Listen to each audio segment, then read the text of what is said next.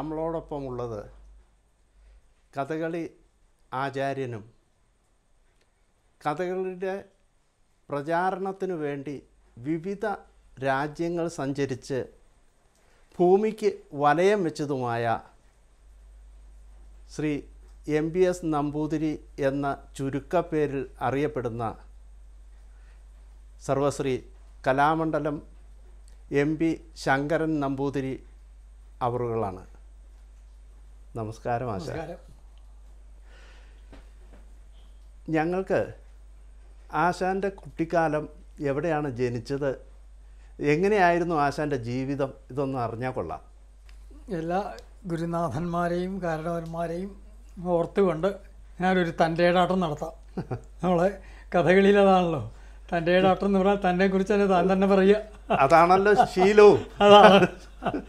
അപ്പോൾ വളരെ ഹ്രസ്വമായിട്ട് എന്റെ ഒരു ഒരു പശ്ചാത്തലം ഞാൻ പറയാം. വാസ്തവം പറഞ്ഞാൽ എന്റെ തറവാടിന് അങ്ങനെ ഒരു പാരമ്പര്യമൊന്നുമില്ല. സ്വന്തം പൂരിമാരുടെ തറവാടിന് അങ്ങനെ ഒരു പാരമ്പര്യമൊക്കെ അവർ ഈ പുരസ്കർത്താക്കൾ എന്നുള്ളതൊക്കെ അല്ലാണ്ട് കഥകളി രംഗത്ത് കടന്നു വരിക എന്നുള്ളത് ഉണ്ടായിട്ടുണ്ട്. പക്ഷെ അപൂർവമാണ്. ഏതായാലും എന്റെ തറവാടിന് അങ്ങനെയൊന്നുമില്ല. എന്നെ സംബന്ധിച്ചിടത്തോളം ഈ കഥകളി പഠിക്കാനൊരു നിമിത്തം ഉണ്ടായി. അതെന്താ വെച്ചാൽ ഇല്ലത്തെ ഒരു ഫോട്ടോ ആണ്. ഒരു നിമിത്തമായിട്ട് വന്നത്. ഒരു കഥകളി ഫോട്ടോ. എന്ത് ഞങ്ങളൊക്കെ സാധാരണ ഇല്ലങ്ങളിൽ ഈ നവരാത്രി കാലത്ത് പൂജ നടക്കുമ്പോൾ മണ്ഡപമൊക്കെ അലങ്കരിക്കാൻ ഈ പഴയ കാലത്തെ ശിവകാശി എന്നൊക്കെ കൊണ്ടുവന്നിട്ടുള്ള ഒരുപാട് ദേവീദേവന്മാരുടെ ഫോട്ടോ ഒക്കെ ഉണ്ടാവും. അത് പ്രദർശിപ്പിക്കുക എല്ലാ ഇല്ലങ്ങളും പതിവുണ്ട്. അത് കഴിഞ്ഞാൽ എടുത്തു വയ്ക്കുകയും ചെയ്യും. അപ്പോൾ ഇല്ലത്ത് വലിയൊരു പെട്ടിയിൽ അതിനെ സൂക്ഷിക്കുക ഉണ്ടായിരുന്നു അപ്പോൾ ഒരു കൊല്ലം അങ്ങനെ എടുത്ത് പുറത്ത് കൊണ്ടുവന്നപ്പോൾ വലിയൊരു ചുകർണാടിയുടെ ഒരു ചിത്രമുണ്ട്. നമ്മുടെ കുട്ടിക്കാലാണല്ലോ. ഈ ആ ചിത്രത്തിന്റെ ഒരു വൈ വർണ വൈവിധ്യവും അതിന്റെ രൂപം കൂടി കണ്ടപ്പോൾ അച്ഛനോട് ചോദിച്ചത് എന്താണെന്ന്? ചോദിച്ചപ്പോഴാണ് പറഞ്ഞ അത് കഥകളിയാണ് എന്ന് പറഞ്ഞു. അപ്പൂന് മനസ്സിലാവില്ല. കഥകളി ഉണ്ടാകുമ്പോൾ കാണിച്ചു തരാം. അപ്പോൾ ആ കാല ആ സമയത്ത് ഇല്ല കരിക്കാട്ട് കളിയില്ല. അപ്പോൾ എന്റെ ഇല്ലം എന്ന് പറഞ്ഞത് ഇപ്പോഴത്തെ മലപ്പുറം ഡിസ്ട്രിക്റ്റിൽ കരിക്കാട് മൂത്തയിടത്ത് പാലശ്ശേരി മന എന്നാണ് എന്റെ ഇല്ല പേര്. കരിക്കാട് ഗ്രാമം പഴയ കാലത്ത് അറുപത്തിനാല് ഗ്രാമങ്ങളിൽപ്പെട്ട ഒരു പ്രധാന വലിയ പ്രസിദ്ധമായിട്ടുള്ള കാര്യമാണ് അവിടെയാണ് എന്റെ ഇല്ല.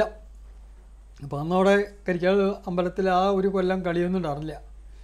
ഏതായാലും കഥകളിയൊക്കെ തുടങ്ങിയപ്പോൾ പിന്നെ അച്ഛൻ കൊണ്ടുപോയി കളി കാണിക്കാൻ തുടങ്ങി കുറേശ്ശെ അത് എന്തുകൊണ്ടാണ് കഥകളിയോട് ഇത്രമാത്രം ഒരു മാസ് ഇതിന്റെ ഒരു ഒരു ആഭിമുഖ്യം ഉണ്ടായതെന്ന് ചോദിച്ചാൽ പ്രത്യേക കാരണങ്ങളൊന്നുമില്ല. അത് കാണാനുള്ള സാഹചര്യം ഉണ്ടാവുക ഉണ്ടായപ്പോൾ എല്ലാ എനിക്ക് തോന്നുന്നു മിക്കവാറും ഈ രംഗത്തേക്ക് കടന്നു വരുന്ന വലിയൊരു വിഭാഗത്തിന്റെ കുട്ടിക്കാലത്തെ ഈ കഥകളി കണ്ടിട്ടുള്ളൊരു പരിചയത്തിന്റെ അടിസ്ഥാനത്തിൽ അതിൽ ആകർഷകരായിട്ട് അങ്ങനെ ആ വേഷത്തിൽ കണ്ടുമൊക്കെ ആയിട്ടുണ്ടാവാം. പൊതുവെ ഒരു എനിക്ക് ഞാനും ഏതാണ്ട് ആകപ്പെട്ടുള്ളായിരുന്നു ഇപ്പോൾ കോട്ടക്കൽക്കാരുടെ കളിയാണ് സ്ഥിരം. അപ്പോൾ അന്ന് അവിടെ കളിക്കണ കഴിയുമ്പോൾ എല്ലാ കൊല്ലവും കളി കാണും. അങ്ങനെ ഒരു കളിക്കമ്പം എന്നുള്ളത് പറയാൻ ചില ഒരു താല്പര്യം. പിന്നെ നമ്മുടെ കുട്ടിക്കാലത്തെ കളികളിലൊക്കെ അതിന്റെ ചില രംഗങ്ങളൊക്കെ നമ്മൾ കൂട്ടുകാരായിട്ട് പങ്കുവയ്ക്കുക. അങ്ങനെ തുടങ്ങിയിട്ടില്ല. അങ്ങനെ കളിയുടെ ഒരു പശ്ചാത്തലത്തിലാണ് ഞാനും വളർന്നിട്ടുള്ളത്. ഒരു പക്ഷേ എന്തിനായിരിക്കാം എന്നോട് ഇതിൽ എന്നെ അതിലേക്ക് മറ്റേ ആകർഷിച്ചത്. ഏതായാലും അങ്ങനെ കഴിഞ്ഞ ഒരു ഒരു കൊല്ലത്ത് അവിടെ കഥകളി എല്ലാ കൊല്ലം നടക്കുമ്പോൾ ഈ അണിയറയിൽ കയറാനുള്ള പറയുക പറഞ്ഞാലോ അണിയറയിൽ ഈ അവിടുത്തെ പെട്ടിക്കാർ നമ്മളെ അടുപ്പിക്കില്ല കുട്ടികളൊക്കെ ആട്ടി പായിക്കുമല്ലോ. ഏതായാലും നമ്മൾ അതിന്റെ കൂടെ കടന്നു വീഴും അപ്പോൾ എന്റെ മനസ്സിൽ ഈ ചുവന്നാടിയൊരു ചിത്രമുണ്ട് ആ ഫോട്ടോ. അപ്പോൾ ഞാൻ അവിടെ ഉള്ള ഈ ആ പെട്ടിപ്പുറത്ത് ഒരാളിക്കുണ്ട് അവിടെ ചോദിച്ചു എപ്പോഴാണ് ചുവന്നാടി വേഷം കെട്ടാൻ തുടങ്ങുക എന്ന് ചോദിച്ചു.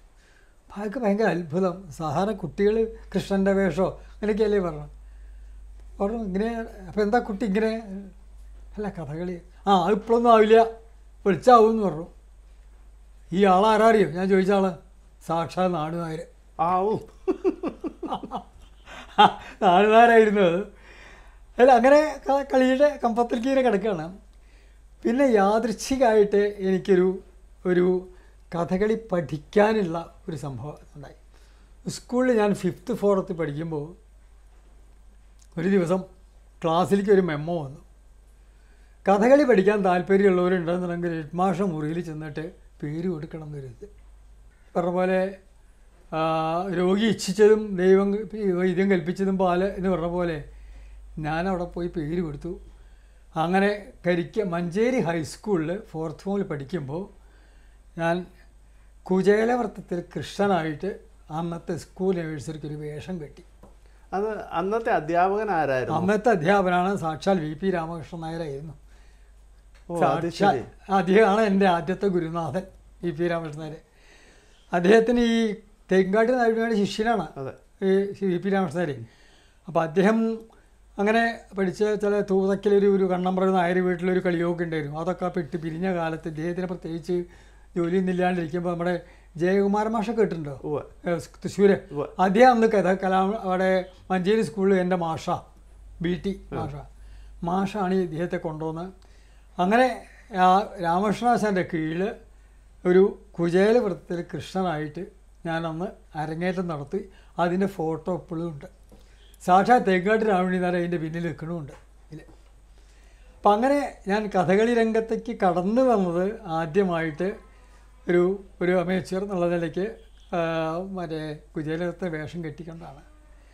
പിന്നീട് അതോ കഴിഞ്ഞു പത്താം ക്ലാസ് ഒമ്പതാം ഒമ്പതാം ക്ലാസ് കഴിഞ്ഞു പത്താം ക്ലാസ് കഴിഞ്ഞ് പിന്നെ എന്റെ വിദ്യാഭ്യാസമായിട്ട് ഞാൻ നീങ്ങി. അത് കഴിഞ്ഞ് അമ്പത്തി എട്ടിലാണ് എന്റെ അമ്പത്തേഴ് അമ്പത്തെട്ടിലാണ് ഞാൻ പാലക്കാട് വിക്ടോറിയ കോളേജിൽ പ്രീ പ്രീ യൂണിവേഴ്സിറ്റിക്ക് ചേർന്നു. അവിടെ ഒരു കൊല്ലം ആ ഒരു കൊല്ലത്ത് അവിടുത്തെ കഴിഞ്ഞ് ഇരിക്കുകയാണ്. ആ വെക്കേഷനിലാണ് കലാമണ്ഡലത്തിന്റെ ഒരു പരസ്യം പത്രത്തിൽ കഥകളി പഠിക്കാൻ താല്പര്യമുള്ളവർക്ക് അപേക്ഷിക്കാമെന്നുള്ളൊരു പരസ്യം കണ്ടു. അത് കണ്ടപ്പോൾ എന്റെ ഉള്ളിലുള്ള ആ ഒരു വീണ്ടും ഒന്ന് താല്പര്യം ഒന്നുകൂടിയും വളർന്നുണ്ടാവാം അപ്പം ഞാൻ ഒരു സംശയം ചോദിക്കട്ടെ? അന്നത്തെ കാലത്തൊക്കെ ഏഴാം ക്ലാസ് പാസ്സായ ആകുന്ന പാസ്സായവരായിരിക്കണം എന്ന് പരസ്യത്തിലുണ്ടാവാറുണ്ട്. അന്ന് ആ വർഷം ഉണ്ടായില്ലേ? അന്ന് അങ്ങനെയുള്ള വിദ്യാഭ്യാസ യോഗ്യതയെ പറ്റി ഒന്നുമില്ല. ഒന്നുമില്ല. ഒന്നുമില്ല. അതിൽ ആ പരസ്യത്തിൽ ഇങ്ങനെ പതിമൂന്നോ പന്ത്രണ്ടോ പതിമൂന്നോ പ്രായത്തിനെ കുറിച്ചൊന്നും പറയേണ്ടത് തോന്നുന്നു. എനിക്കിപ്പോൾ പ്രത്യേകിച്ച് ഇപ്പോൾ ഓർമ്മ പോണില്ല വിദ്യാഭ്യാസ യോഗ്യതയെക്കുറിച്ച് ഒന്നും പറയാറില്ല. ഒന്നും പറഞ്ഞില്ല. എനിക്ക് തോന്നുന്നത് കലാമണ്ഡലത്തിന്റെ ചരിത്രത്തിൽ പ്രീ ഡിഗ്രി പാസ്സായിട്ട് ആദ്യമായി വരുന്ന അല്ലെങ്കിൽ സ്കൂൾ വിദ്യാഭ്യാസം ഏറ്റവും ഉയർന്ന നിലയിലുള്ള ഒരു വിദ്യാർത്ഥി എന്ന് പറയുന്നത് എം എസ് ആശാന. അത് അത് അത് ശരിയാണത്. കാരണം ഞാനിവിടെ അന്ന് ഈ അപേക്ഷ കൊടുത്ത് ഇവിടെ ഇന്റർവ്യൂവിന് വന്നപ്പോൾ ആ ഇന്റർവ്യൂവിന്റെ ഒരു രംഗം ഉണ്ടായിരുന്നു. അതിൽ അതിലൊരു കാര്യം എന്താ വെച്ചാൽ എന്റെ സർട്ടിഫിക്കറ്റുകൾ കാര്യങ്ങൾ കണ്ടപ്പോൾ ഉദ്യോഗസ്ഥൻ പറഞ്ഞു ഹേ ഈ തിരുമേനി യൂണിവേഴ്സിറ്റി പഠിച്ച ആളാണ് എന്ന് വലിയൊരു അത്ഭുതമായിട്ട് പറഞ്ഞു. അപ്പോൾ ആ ഇന്റർവ്യൂവിന്റെ ബോർഡിൽ ആരൊക്കെയുണ്ട്?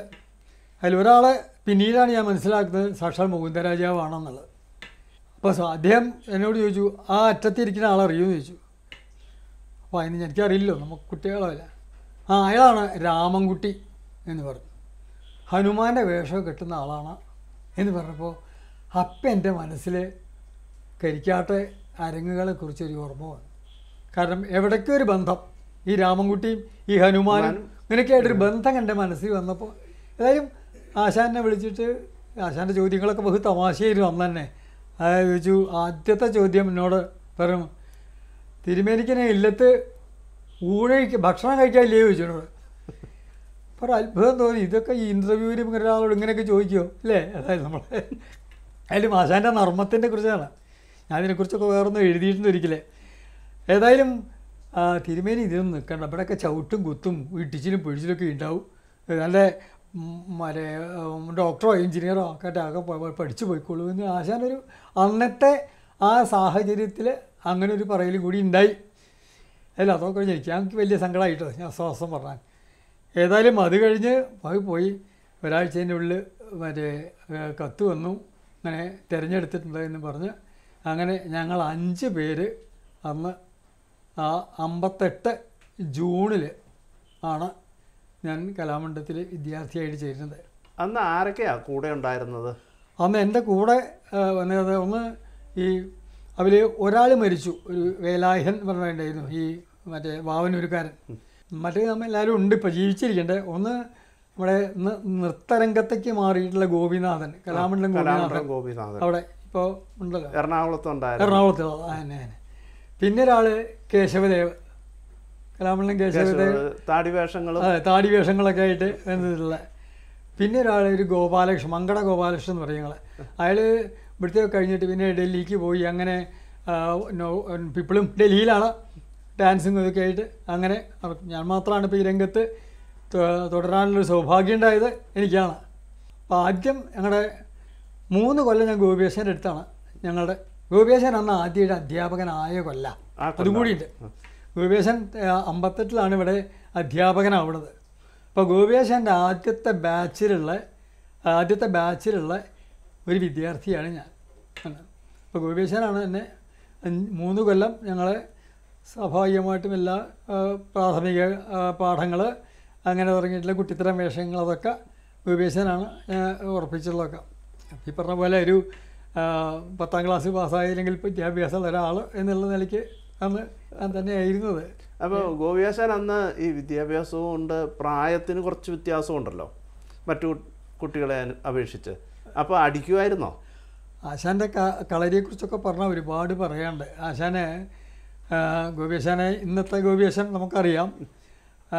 ഗോപിയാശാന്റെ ഒരു ഒരു നമ്മൾ ഞാനതിനെ വേറൊരു തരത്തിലാണ് കാണുന്നത്. നല്ല ശിക്ഷയായിരുന്നു. അതി അതികഠിനമായിട്ട് ശിക്ഷിച്ചായിരുന്നു. അത് ഒരു സംശയമില്ല ഞാൻ ഇങ്ങനെ വിചാരിക്കാറുണ്ട് ഈ പ്രത്യേകിച്ചും അന്നത്തെ ഒരു കാലഘട്ടത്തിൽ നമ്മൾക്ക് കിട്ടിയതൊക്കെ മറ്റവർക്ക് കൊടുക്കുക. അതെ. എന്നുള്ള ഒരു ഒരു ഇതുണ്ടല്ലോ. അതായത് അവിടെ ഈ തനിക്ക് കിട്ടിയിട്ടുള്ള അതികഠിനമായിട്ടുള്ള ശിക്ഷകൾ അത് ഗോപേശനെ കുറിച്ചൊക്കെ നമുക്ക് ധാരാളം അറിയാം. അപ്പോൾ വിട്ടുവീഴ്ചയില്ലാത്ത ഒരു പഠനം.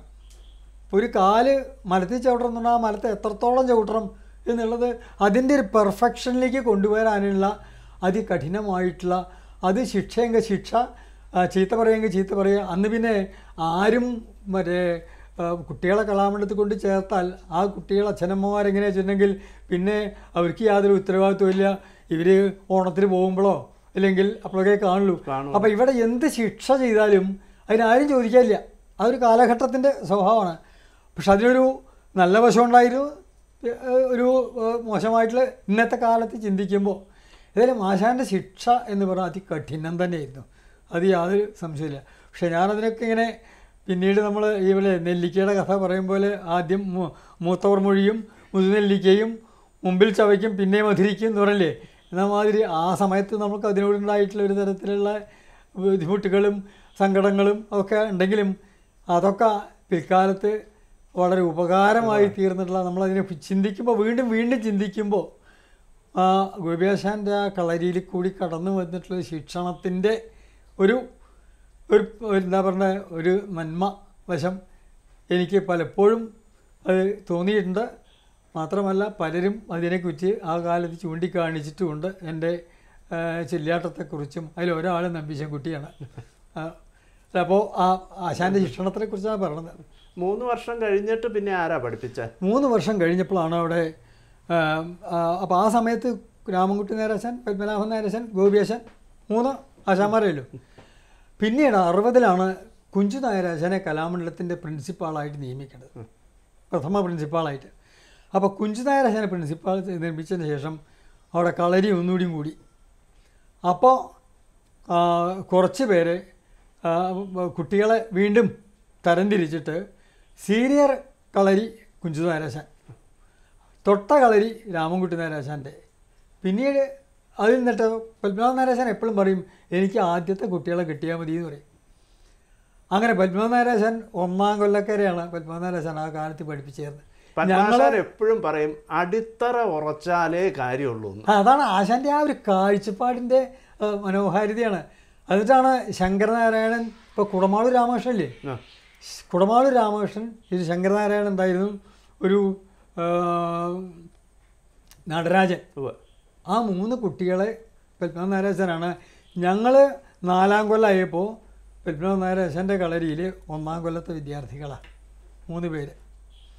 പിന്നെ ഞാൻ ഞങ്ങൾ മൂന്ന് കൊല്ലം ഞാൻ മറ്റേ രാമകുട്ടി നാരായണന്റെ കളരിയിലാണ് എല്ലാ അധ്യവസാന വേഷങ്ങളും മറ്റേ പഠിച്ച് അതിന്റെ ചിട്ടവട്ടങ്ങളൊക്കെ മനസ്സിലാക്കിയത് രാമകുട്ടി നരസിന്റെ കളരിലേക്ക് കൂടിയാണ്. കുഞ്ചുതാരാശാൻ ചൊല്ലി അടുപ്പിച്ചിട്ടുണ്ടോ? കുഞ്ചുതാരാശാൻ എങ്ങനെയാ വെച്ചാൽ ഞാൻ അങ്ങനെ അറുപത്തിനാലിൽ കഴിഞ്ഞപ്പോൾ ഞാൻ രണ്ട് കൊല്ലം ശ്രീലങ്കയിൽ പോയി. ആ. അന്ന് ഗവൺമെന്റ് ഓഫ് ഇന്ത്യയുടെ ഒരു സ്കോളർഷിപ്പിൽ ഈ ശ്രീലങ്കയും ഇന്ത്യ ആയിട്ടുള്ള ഒരു കൾച്ചറൽ എക്സ്ചേഞ്ച് എന്നുള്ള നിലയ്ക്ക് അന്ന് കലാമണ്ഡലത്തിലേക്ക് ഒരു കത്ത് വരികയും പത്താം ക്ലാസ് പാസ്സായിട്ടുള്ള ആരെങ്കിലും ഉണ്ടെങ്കിൽ അവരെ അവർക്ക് വേണമെങ്കിൽ ഇത് അപേക്ഷിക്കാം എന്ന് പറഞ്ഞിട്ടൊരു ഇത് വന്നു. അത് ഓഫീസിൽ കിട്ടിയ ഉടനെ സൂപ്രണ്ടിനെ സൂപ്രണ്ട് ദിവസം വിളിച്ചു ഓഫീസിലേക്ക് അങ്ങനെ സൂപ്രണ്ട് എന്ന് പറയുന്നത് സൂപ്രണ്ട് എന്ന് പറഞ്ഞാൽ കിളിമംഗലം വാസുദേവ നമ്പൂതിരിപ്പാട്. അപ്പോൾ അദ്ദേഹം എന്നെ വിളിച്ചിട്ട് പറഞ്ഞു ഇങ്ങനെ തനിക്ക് താല്പര്യം ഉണ്ടെങ്കിൽ അപേക്ഷിച്ചോളൂ. വേറെ ആരും ഇവിടെ നമുക്കിവിടെ പറയാനില്ല. കാരണം തമ്പുരാനാണ് അവർ ഇന്ന് കുറച്ച് വിദ്യാഭ്യാസം നടന്നത് അദ്ദേഹം പ്രായമായി. ശേഖരനും അമ്പലപ്പുഴ ശേഖര പ്രായമായി. അപ്പോൾ എനിക്ക് വലിയ താല്പര്യമൊന്നും ഉണ്ടാവില്ല കാരണം കഥകളി പഠിക്കാൻ വന്ന ഒരാൾക്ക് ഇനി വേറൊന്ന് പഠിക്കാൻ എന്നാണ് പക്ഷേ ആ സൂപ്രണ്ട് ഒരു വാക്ക് പറഞ്ഞു എന്നോട്. കാരണം ഇത് തന്നെ സംബന്ധിച്ചിടത്തോളം ഒരു എക്സ്പോഷറാണ് പുറത്തേക്ക്. അപ്പോൾ അതുകൊണ്ട് പറ്റുകയാണെങ്കിൽ അപ്പം ഞാൻ ആറ് കൊല്ലം കഴിഞ്ഞിരിക്കുക ആ. സമയത്ത്. ഇവിടുത്തെ കോഴ്സ് കഴിഞ്ഞു? കോഴ്സ് കഴിഞ്ഞില്ല. അന്ന് എട്ട് വർഷം എട്ട് കൊല്ലമാണെന്ന് കോഴ്സ്. അപ്പോൾ ഞാൻ ഇത് കോഴ്സ് പൂർത്തിയാക്കാണ്ട് പോകുന്ന എനിക്ക് സർട്ടിഫിക്കറ്റ് കിട്ടിയല്ലോ. അപ്പോൾ ഞാൻ സൂപ്പറിനോട് ഇങ്ങനെ പറഞ്ഞു ഇങ്ങനെ പറഞ്ഞു ഒരു കാര്യം ചെയ്യൂ. അത് സെക്രട്ടറിയോട് മലബാർ സഭയിൽ ഒരു അപേക്ഷ കൊടുക്കൂ എന്നൊക്കെ പറഞ്ഞ് ഞാൻ അപേക്ഷ കൊടുത്ത് തിരിച്ചു വന്നാൽ എനിക്ക് വീണ്ടും എന്റെ പഠനം തുടരാം എന്നുള്ള ഗ്യാരണ്ടി അത് കലാമണ്ണിന് തന്നു. തിരിച്ചു വന്നാൽ. അത് കഴിഞ്ഞിട്ട് രണ്ട് കൊല്ലം പഠിച്ചാൽ മതി എന്ന് പറഞ്ഞ് അങ്ങനെ രണ്ട് കൊല്ലം ശ്രീലങ്കയിൽ അവിടുത്തെ കാന്റീൻ നൃത്തങ്ങളും അങ്ങനെ അവിടുത്തെ ഒരുപാട് മറ്റേ നൃത്തരൂപങ്ങളുണ്ട് അതിനെക്കുറിച്ചൊക്കെ ഒരു സാമാന്യ പഠനം കഴിഞ്ഞ് തിരിച്ചെത്തിയപ്പോഴേക്കും അപ്പൊ അവരെ പഠിപ്പിച്ചോ? ഈ കഥകളി അവിടെ പഠിപ്പിക്കാനുള്ള അവസരം ഉണ്ടായോ? അവിടെ ഞാൻ അവിടെ പോയിട്ട് ഞാൻ പഠിപ്പിച്ചിട്ടൊന്നുമില്ല. ഇല്ല. പഠിപ്പിക്കേണ്ട വിഷയമില്ല ഒരു മലയാളി മാത്രമേ കുടുംബത്തിനെ ചിലത് പഠിപ്പിച്ചു എന്നല്ലാണ്ട് അവിടെ കാര്യമായിട്ട് നമ്മൾ പഠിക്കുക. അതായത് ഈ രണ്ട് രാജ്യങ്ങളിലുള്ള സാംസ്കാരിക വിനിമയം എങ്ങനെ വെച്ചാൽ അവിടുത്തെ കലാകാരന്മാർ ഇന്ത്യയിലേക്ക് വരിക. ഇന്ത്യയിലത്തെ കലാകാരന്മാർ അവിടെ വിടുക കലാമണ്ഡലത്തിൽ പഠിച്ചിട്ടുള്ള ഒരുപാട് ശ്രീലങ്കൻ കലാകാരന്മാരുണ്ട്. അന്ന് ഞാൻ പഠിച്ച സ്ഥാപനത്തിലെ പ്രിൻസിപ്പാൾ തന്നെ പണി ഭരത് എന്ന് പറയും. കലാമണ്ഡലത്തിൽ രാമൻകുട്ടി നാരാശന്റെ ഒക്കെ കാലത്ത് പഠിച്ച ആളാണ് ഇവിടെ. അപ്പോൾ അതൊരു കൾച്ചറൽ എക്സ്ചേഞ്ച് ആയിരുന്നു. ഏതായാലും അത് കഴിഞ്ഞ് വന്നു. തിരിച്ച് ഞാൻ വന്നപ്പോൾ പിന്നെ രണ്ട് കൊല്ലം കുഞ്ചുനാരാശന്റെ കളരിലാണ് എനിക്ക് പഠിക്കാനുള്ള സൗഭാഗ്യം ഉണ്ടായത്.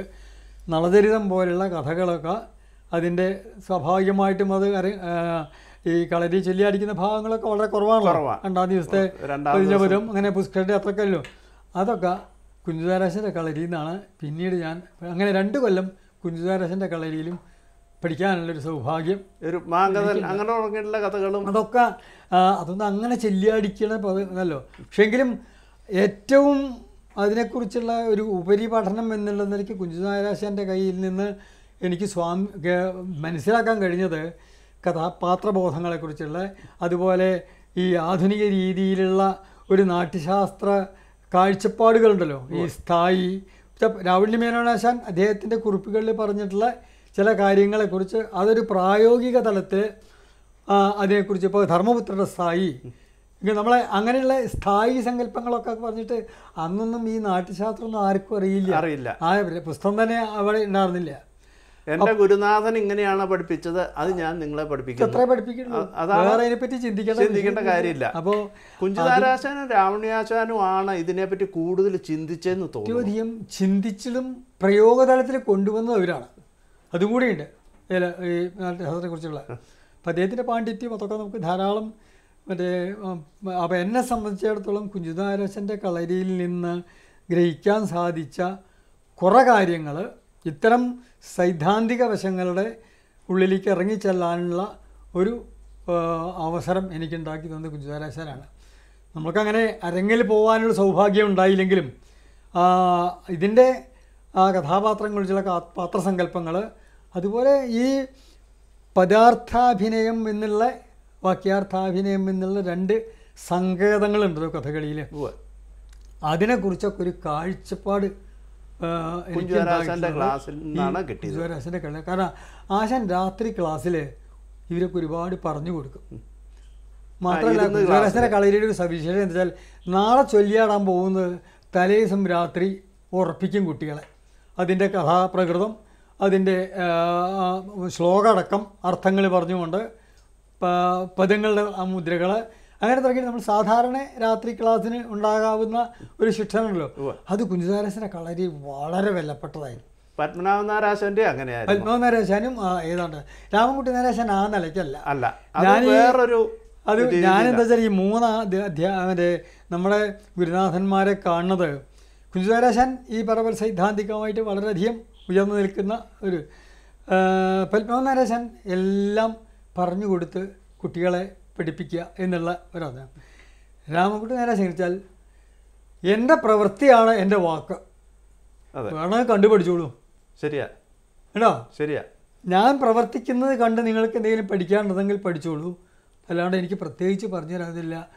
അതാണ് രാമൻകുട്ടി നായർ ആശാന്റെ നമ്മുടെ ജീവിതത്തിൽ ആശാനെക്കുറിച്ച് നമ്മുടെ മനസ്സിൽ അല്ലെങ്കിൽ നമ്മുടെ അനുഭവത്തിൽ ആശാൻ ചെയ്യുന്നതിന്റെ പെർഫെക്ഷനും ആശാൻ ചെയ്യുന്നതിന്റെ ആ സൗകുമാര്യവും ഇതിന്റെ സൗന്ദര്യമൊക്കെ കണ്ടു പഠിക്കുക എന്നല്ലാതെ ആശാൻ അതിനെ അങ്ങനെ പറഞ്ഞു നിന്ന് പഠിപ്പിക്കുന്ന ചിലപ്പോഴൊക്കെ ആശാൻ ചൊല്ലിയാടിപ്പിക്കുമ്പോൾ മുന്നിൽ നിന്ന് ആശാൻ ചൊല്ലിയാടാറുണ്ട്. അപൂർവ അപൂർവമായിട്ട്. പക്ഷെ ഞാൻ. അധികവും ഇരുന്നുകൊണ്ട് അധികം ആശാൻ അവിടെ ഇരുന്ന് കാണിക്കുന്നേ ഉള്ളൂ. അപൂർവം ചില സമയത്ത് വന്നിട്ട് ഉണ്ട്. ഞാനത് രാമൻകുട്ടി നാരാശന്റെ കളരിയിൽ ഈ ധർമ്മപുത്ര ചൊല്ലിയാടിയപ്പോൾ ക്രിമിയിലും ധർമ്മപുത്ര ചൊല്ലിയപ്പോൾ അത് ഏറ്റവും അധികം മറ്റേ വിഷമമുള്ള ഒരു കഥാപാത്രമാണല്ലോ. ഒരു കഥകളി വേഷക്കാരനെ സംബന്ധിച്ചിടത്തോളം ഏറ്റവും അധികം വെല്ലുവിളി നേടുന്ന ഒരു കഥാപാത്രമാണ് അത്. അതിന്റെ ചിട്ടവട്ടങ്ങളെ മുഴുവൻ അമ്മ രേഖപ്പെടുത്തി വെച്ചിട്ടുണ്ട് ഞാൻ അറുപത്തിരണ്ട് അറുപത്തി മൂന്ന് കാലത്ത്. അത്. അന്ന് രേഖപ്പെടുത്തി വെച്ചാൽ അന്ന് ഇതിനൊന്നും ആരും പുറപ്പെട്ടിരില്ല മാത്രമല്ല അത് മറ്റേ പാട്ടുകാർ പോലും പുസ്തകം കൊണ്ടുവരാൻ പാടില്ല കളരിയിൽ. അതെ. പുസ്തകം നോക്കി പാടാൻ പറ്റില്ല. പുസ്തകം കൊണ്ടുവരാൻ പാടില്ല. പക്ഷെ അന്ന് ആ ഒരു സാഹചര്യത്തിൽ ഞാൻ ഇപ്പോൾ ഗോപിനാഥനെ ചൊല്ലി അടിക്കുമ്പോൾ പലപ്പോഴും ഞാനൊരു ദിവസം ചൊല്ലിയാടിയാൽ ഗോപിനാഥനും കേശവദേവനും അവർ വേറെ ദിവസം ചൊല്ലിയടിക്കും അങ്ങനെ മറ്റൊരു ചൊല്ലിയാടുന്ന് കാണുമ്പോൾ നമ്മൾ സ്വകാര്യമായിട്ട് അതിന്റെ നിന്ന് നിന്നുകൊണ്ട് ഇതിങ്ങനെ ചെറുത് കുത്തി എഴുതി അങ്ങനെ പിന്നീട് മുറി മുറിയിൽ വന്നാൽ അതിന്റെ സീനിയർ വിദ്യാർത്ഥികളായിട്ട് സംശയം ചോദിച്ച് അങ്ങനെ അത് പകർത്തി എഴുതിയിരുന്നു. മറ്റേ രേഖപ്പെടുത്തി വെച്ചിട്ടുള്ളൊരു ഡോക്യുമെന്റ് ഞാനതിങ്ങനെ വളരെയധികം വിചാരിക്കും അതിന്റെ പ്രാധാന്യം ഇന്നത്തെ ഒരു സാഹചര്യത്തിൽ അങ്ങനെ വരിക. അപ്പോൾ ഏതായാലും രാമകുട്ടിദാനത്തെ കളരിലാണ് ഞാൻ ഈ ആദിവസാന വേഷം മുഴുവൻ ചൊല്ലിയാടി ഉറച്ചൊക്കെ. ഏത് വർഷമാണ് കോഴ്സ് പൂർത്തിയാക്കിയത്? ഞാൻ അറുപത്തെട്ട്. അറുപത്തെട്ടിൽ. അറുപത്തെട്ട് മാർച്ചിലാണ് ഞാൻ അപ്പോൾ എട്ടും രണ്ടും പത്ത് വർഷം ആ സമയമായി. അതെ രണ്ടു കൊല്ലം അവിടെ പോയി വന്നപ്പോൾ അറുപത്തേഴ് അറുപത്തെട്ടിലാണല്ലോ അല്ലേ? അതെ. അപ്പോൾ പത്ത് വർഷം കലാമണ്ഡലത്തിൽ നിന്ന് പറയാം വേണമെങ്കിൽ. ഇത് കഴിഞ്ഞിട്ട് ആശാൻ എന്താ ചെയ്തേ? അത് കഴിഞ്ഞിട്ട് ഈ പറഞ്ഞ പോലെ എന്റെ പഠനം കഴിഞ്ഞപ്പോൾ ഞാൻ ഏറ്റവും അധികം ഈ രംഗത്ത് കൂടി പോവാൻ ഇതിൽ തന്നെ ഉറച്ചു നിൽക്കാൻ താല്പര്യപ്പെട്ട ഒരാളാണ് എനിക്ക്. പക്ഷേ അതിന്റെ ഇടയ്ക്ക് സാക്ഷാൽ ഈ നമ്മുടെ ഇപ്പം നെടുമ്പള്ളി രാമോഹന്റെ ഏട്ടല്ലേ ഏട്ടന്റെ ഏട്ടന്റെ അനിയൊരു കൃഷ്ണൻ നമ്പൂരിയുടെ ആയിരുന്നു. അദ്ദേഹം ഈ. ഐ പി ടി നാടകത്തിലൊക്കെ അപ്പോൾ അദ്ദേഹം ഒന്ന് ഡൽഹിയിലാണ്. അപ്പോൾ അദ്ദേഹം അപ്പോൾ ഇവിടെ അറിയാം ഞങ്ങളൊക്കെ അറിയാം. പറഞ്ഞതാ എന്നോട് പറഞ്ഞു താൻ അങ്ങ് ഡൽഹിക്ക് വരിക. അപ്പോൾ എന്നാൽ അദ്ദേഹം ഒരു ഭാരതീയ നൃത്തകലാമന്ദിരം എന്ന് പറഞ്ഞിട്ട് വലിയൊരു സ്ഥാപനം നടത്തി നടന്നിരിക്കുന്ന കാലഘട്ടത്തായിരുന്നു. അങ്ങനെ അങ്ങോട്ട് വരിക എന്ന് പറഞ്ഞു. അപ്പോൾ എനിക്ക് എന്തുകൊണ്ടോ അങ്ങനെ ഇവിടെ വിട്ടു നിൽക്കാനുള്ളൊരു താല്പര്യം ഉണ്ടായിരുന്നില്ല. എന്തുകൊണ്ടാണെന്ന് വെച്ചാൽ ഒരു പക്ഷേ നമ്മുടെ ആ, ഇപ്പൊ തിരിച്ചില്ലത്ത് പോയി ഇരിക്കുകയാണെങ്കിൽ തന്നെ സാമ്പത്തികമായിട്ട് നമുക്കൊന്നും ബുദ്ധിമുട്ടില്ല എന്നുള്ള ഒരു അബോധ മനസ്സിൽ ഉണ്ടായിരിക്കാം. പക്ഷേ ഏതായാലും എനിക്ക് ഒട്ടും താല്പര്യം ഉണ്ടായില്ല അപ്പോൾ ആ കാലത്ത് ഒഴിച്ചിൽ ഞാൻ ഇവിടെ നിന്നു. കുറച്ച് കാലം. ഒരു കോഴ്സ് കഴിഞ്ഞിട്ട് ഇവിടെ ഒഴിച്ചിൽ നിന്നു. അധ്യാപകരെ സഹായിക്കാൻ അതെ. എന്നോട് നിൽക്കാൻ പറഞ്ഞു. അങ്ങനെ വന്നപ്പോൾ പറഞ്ഞു ആരാ ആരാപ്പം എനിക്ക് പ്രത്യേകിച്ച് പറഞ്ഞു നിലയിലും മറ്റേ പറഞ്ഞു നമുക്ക് കുഞ്ചുദാരസൻ പ്രിൻസിപ്പാളല്ലേ അപ്പോൾ എന്നെ പ്രത്യേകിച്ചും സൂപ്രണ്ടിനും മറ്റേ കുഞ്ചുദാരസനൊക്കെ താല്പര്യം ഉണ്ടായിരുന്നു. എന്നോട് പ്രത്യേക ഒരു മമതയൊക്കെ ഉണ്ടായിരുന്നു എനിക്ക് എനിക്ക് എനിക്ക് തോന്നുന്നുണ്ട് അയാൾ എങ്ങനെയെങ്കിലും ഇവിടെ നിർത്തുക കുറച്ച് വിദ്യാഭ്യാസമുള്ള ആളുമല്ലേ ആരുമില്ലല്ലോ ഈ നേരത്തെ ജോൺ നടത്ത ആ അത് ഇവിടെ നിർത്തുക. എങ്ങനെയെങ്കിലും അയാൾക്കിപ്പോൾ തങ്ങളെ വിദ്യാഭ്യാസമൊക്കെ ഉള്ളത് അപ്പോൾ ആശാനെ സഹായിക്കാൻ ചില ആശാൻ അപ്പോൾ പ്രിൻസിപ്പാൾ എന്നുള്ള നിലയ്ക്ക് കുറച്ച് ഔദ്യോഗികമായിട്ടുള്ള ചില കാര്യങ്ങളും ഉണ്ടായിരുന്നല്ലോ. അന്നൊന്നും അതിന് മുമ്പ് ഇത് അങ്ങനെയൊന്നും ഉണ്ടായിരുന്നില്ല. അപ്പം അങ്ങനെ കുഞ്ചുതാരെ സഹായിക്കാനുണ്ട് അപ്പം ആ പാകത്തിന് അവിടെ ഒരു ഒരു മറ്റേ ഓഫീസിലൊരു പോസ്റ്റ് ഒഴിവുണ്ടായിരുന്നു. എം കെ കെ നായർ വിളിച്ച് അത് ഇവരൊക്കെ പറഞ്ഞിട്ടൊക്കെയാണ് ആരൊക്കെയാണ് പറഞ്ഞത് തൽക്കാലം അങ്ങനെ ഒരു ഒരു ഇതിലാണ് ഞാൻ ചെയ്യുന്നത് ശരിക്ക് M K K Nair M.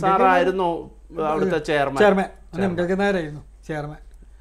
അങ്ങനെ ഞാൻ തൽക്കാലം എനിക്ക് താല്പര്യം ഉണ്ടായിട്ടൊന്നുമല്ല. കാരണം ഈ ഇത് പഠിച്ച ഒരാൾക്ക് ഇനി മറ്റേ രംഗത്ത് താല്പര്യമില്ല. പക്ഷേ എങ്കിലും അത് എനിക്ക് വേറൊരു തരത്തിൽ ഒരു ചവിട്ടുപടിയായി മാറി. പിന്നീട് അപ്പോൾ അന്ന് തന്നെ പറഞ്ഞു കല- അപ്പോഴേക്ക് ചില വിജയാശാന അപ്പോഴേക്ക് നിയമിച്ചു. വിജയാശാനെ നിയമിച്ചപ്പോൾ എഴുപത്തൊന്നിൽ. അതെ. അപ്പോൾ ആശാനെ അതോ അത് മറ്റേ മറ്റേ സ്ഥിരാക്കിയത്. അതിന് മുമ്പേ തന്നെ വിജയാശാനായിരുന്നു. വിജയാശാൻ ഉണ്ടായിരുന്നു താൽക്കാലികമായിരുന്നു. അപ്പോൾ സ്വാഭാവികമായിട്ട് ഇനി വിജയാശാനാണ് ഉണ്ടാവുക.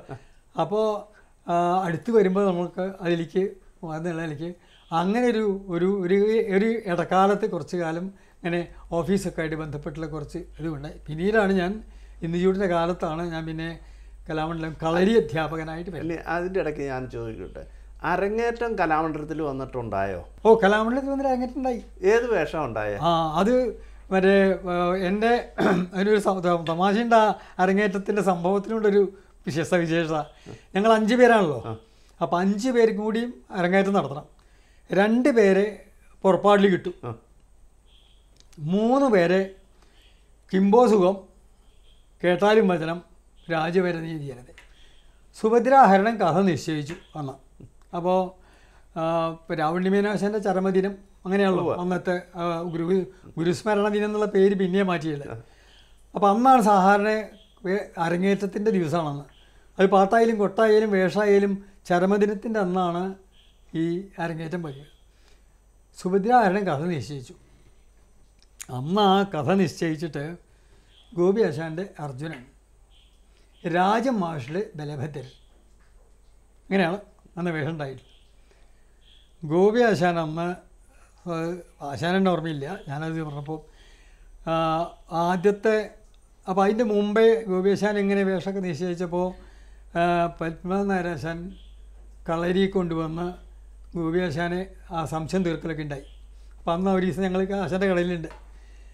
ഏതായാലും പത്മ ഗോപി ആശാൻ അന്ന് ആ മറ്റേ എന്താ വിവാഹരംഗം കഴിഞ്ഞ് കഷ്ടം ഞാൻ കപടം കൊണ്ടു കഴിഞ്ഞ് ആശാൻ തലമുയർത്തി വീണു. ഓ. തല തിരിഞ്ഞു. അപ്പോൾ ഈ പഴയ ഈ കളരിയിൽ ഹാളിലെ ഈ വടക്കേ കളരിയിൽ വടക്ക് ഭാഗത്തെ സ്റ്റേജിലാണ് കളി. പെട്ടോ പെട്ട പെട്ടെന്നരശനൊക്കെ കണ്ടു നിൽക്കുന്നുണ്ട്. ആ പിന്നിലത്തെ മുറിയിൽ കൊണ്ടുവന്ന് ഇറക്കി കിരീടം കഴിപ്പിച്ച് കുറച്ച് വീശി രണ്ടാമത് കൊണ്ട് രംഗത്ത് വന്ന് ബാക്കി ഭാഗങ്ങളൊക്കെ കഴിച്ചു. എന്റേത് രാജവര നീതി ചരിതയാണ് അപ്പോൾ രാജമാഷും ഞാനും കൂടിയിട്ടാണ് ബലഭദ്രനും കൃഷ്ണനുള്ള ഭാഗം. അങ്ങനെയാണ് എന്റെ അരങ്ങേറ്റം ഉണ്ടായത്.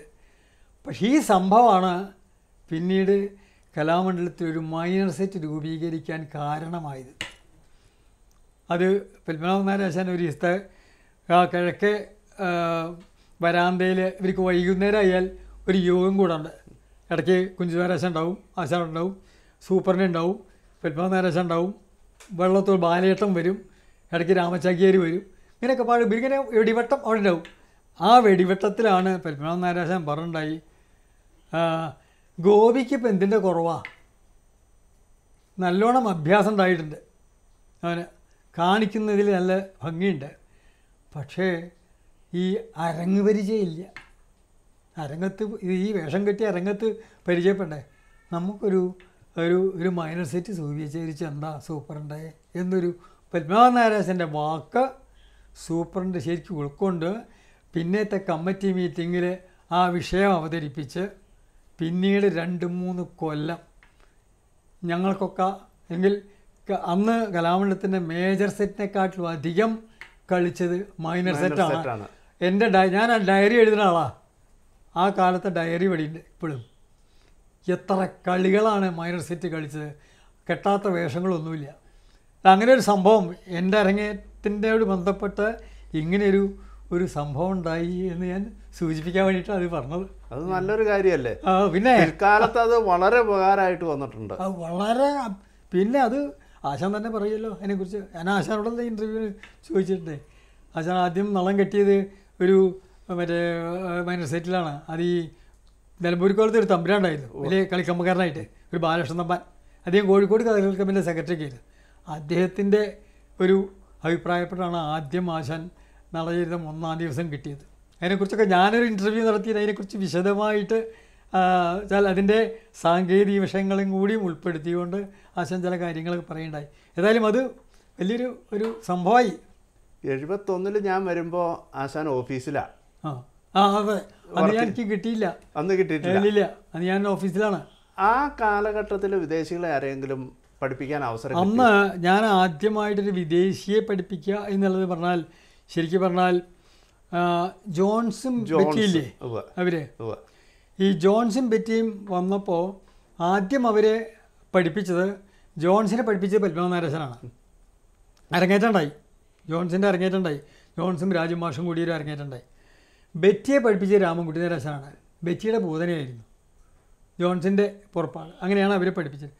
പിന്നീട് അവർ രണ്ട് മൂന്ന് പ്രാവശ്യം വന്നപ്പോൾ ഒരു ഘട്ടത്തിൽ ബെറ്റിയെ ഈ മറ്റേ കാലയവത്തിൽ ഉർവശി. അത് മറ്റേ ആദ്യത്തെ പാണ്ഡവന്റെ രൂപം തന്നെ. മുഴുവൻ അവസാനം ശാപം വരെ. അപ്പോൾ തുടങ്ങിയത് ഞാൻ ആ ഒരു അവ- അവരിലാണ് ശരിക്കൊരു വിദേശ വിദ്യാർത്ഥി എന്നുള്ള നിലയ്ക്ക് ഞാൻ പഠിപ്പിക്കാൻ തുടങ്ങി പഠിപ്പിക്കാൻ എഴുപത്തി രണ്ടിൽ എഴുപത്തൊ എഴുപത്തൊന്നിൽ ഞാൻ വിജയാശാന്റെ അടുത്തായിരുന്നു. എഴുപത്തി രണ്ടിൽ ആ കളരി മാറ്റിയിട്ട് പത്മനാഭ നാരാശാന്റെ കളരിയിലാക്കുക ആ ആ. അന്ന് വാസുണ്ണി ഗോപാലകൃഷ്ണൻ കാവുങ്ക ദിവാരൻ ബാലസുബ്രഹ്മണ്യൻ. ബാലസുബ്രഹ്മണ്യനൊക്കെ രാമട്ടി കളരിയിൽ അല്ല ഗോപിയാസന്റെ കളരിയിലും ഒക്കെ ആയിട്ടായിരുന്നു. അപ്പൊ അങ്ങനെ നിന്ന അവസരത്തിൽ ഞാൻ ഈ കുട്ടിത്തര ആകെ ഒരു പതേ പഠിച്ചിട്ടുള്ളൂ. അന്നത്തെ കാലത്ത് അങ്ങനെയാണല്ലോ. തോടയും പുറപ്പാടും പകുതി പുറപ്പാടും കുട്ടിത്തര ഒരു പദവും.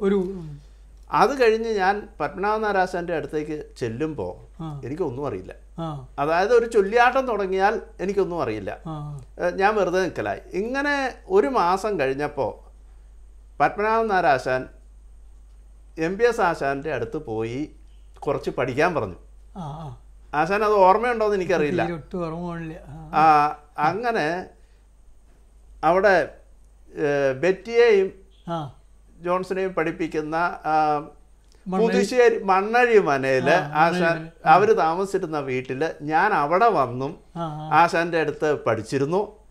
പിന്നെ ആശാൻ കലാമണ്ഡലത്തിൽ പഠിച്ചു തുടങ്ങിയപ്പോൾ പഠിപ്പിച്ചു തുടങ്ങിയപ്പോൾ ഞാൻ കലാമണ്ഡലത്തിനും ആശാന്റെ കളരിയിൽ അല്ലേ? ആ എന്നെ കുട്ടിത്തരം പദങ്ങൾ ഒരുവിധം ഉറപ്പിച്ചത് ആശാനാണ്. എന്റെ എന്റെ ഓർമ്മയിലങ്ങൾ ചിലത് ചിലത് ഈ പറഞ്ഞ പോലെ ഇപ്പോൾ ഓർമ്മകൾ ചിലതൊക്കെ ഓർമ്മയുണ്ട് ചിലത് ഓർമ്മയില്ലാണ്ട് ഇരിക്കുന്ന ഇരുന്നുണ്ട് അതെനിക്ക് ഈ എന്താ പറയുക ചില അല്ല അത് അങ്ങനെ ഓർമ്മിപ്പിച്ച് നന്നായിട്ടോ. എനിക്ക് വളരെ സന്തോഷമായി എന്ന് പറഞ്ഞാൽ ആശാന്റെ ആദ്യത്തെ ശിഷ്യന്മാരിൽ ഒരാൾ ഞാനാണെന്നർത്ഥം എനിക്കതിൽ അഭിമാനമുണ്ട്. വിജയാശാനാണ് എന്നെ ആദ്യം പഠിപ്പിച്ചത്. എം ബി എസ് ആശാൻ വരുമ്പോ ആദ്യത്തെ ശിഷ്യൻ എന്ന് പറയുന്നത് ഞാനാണ്.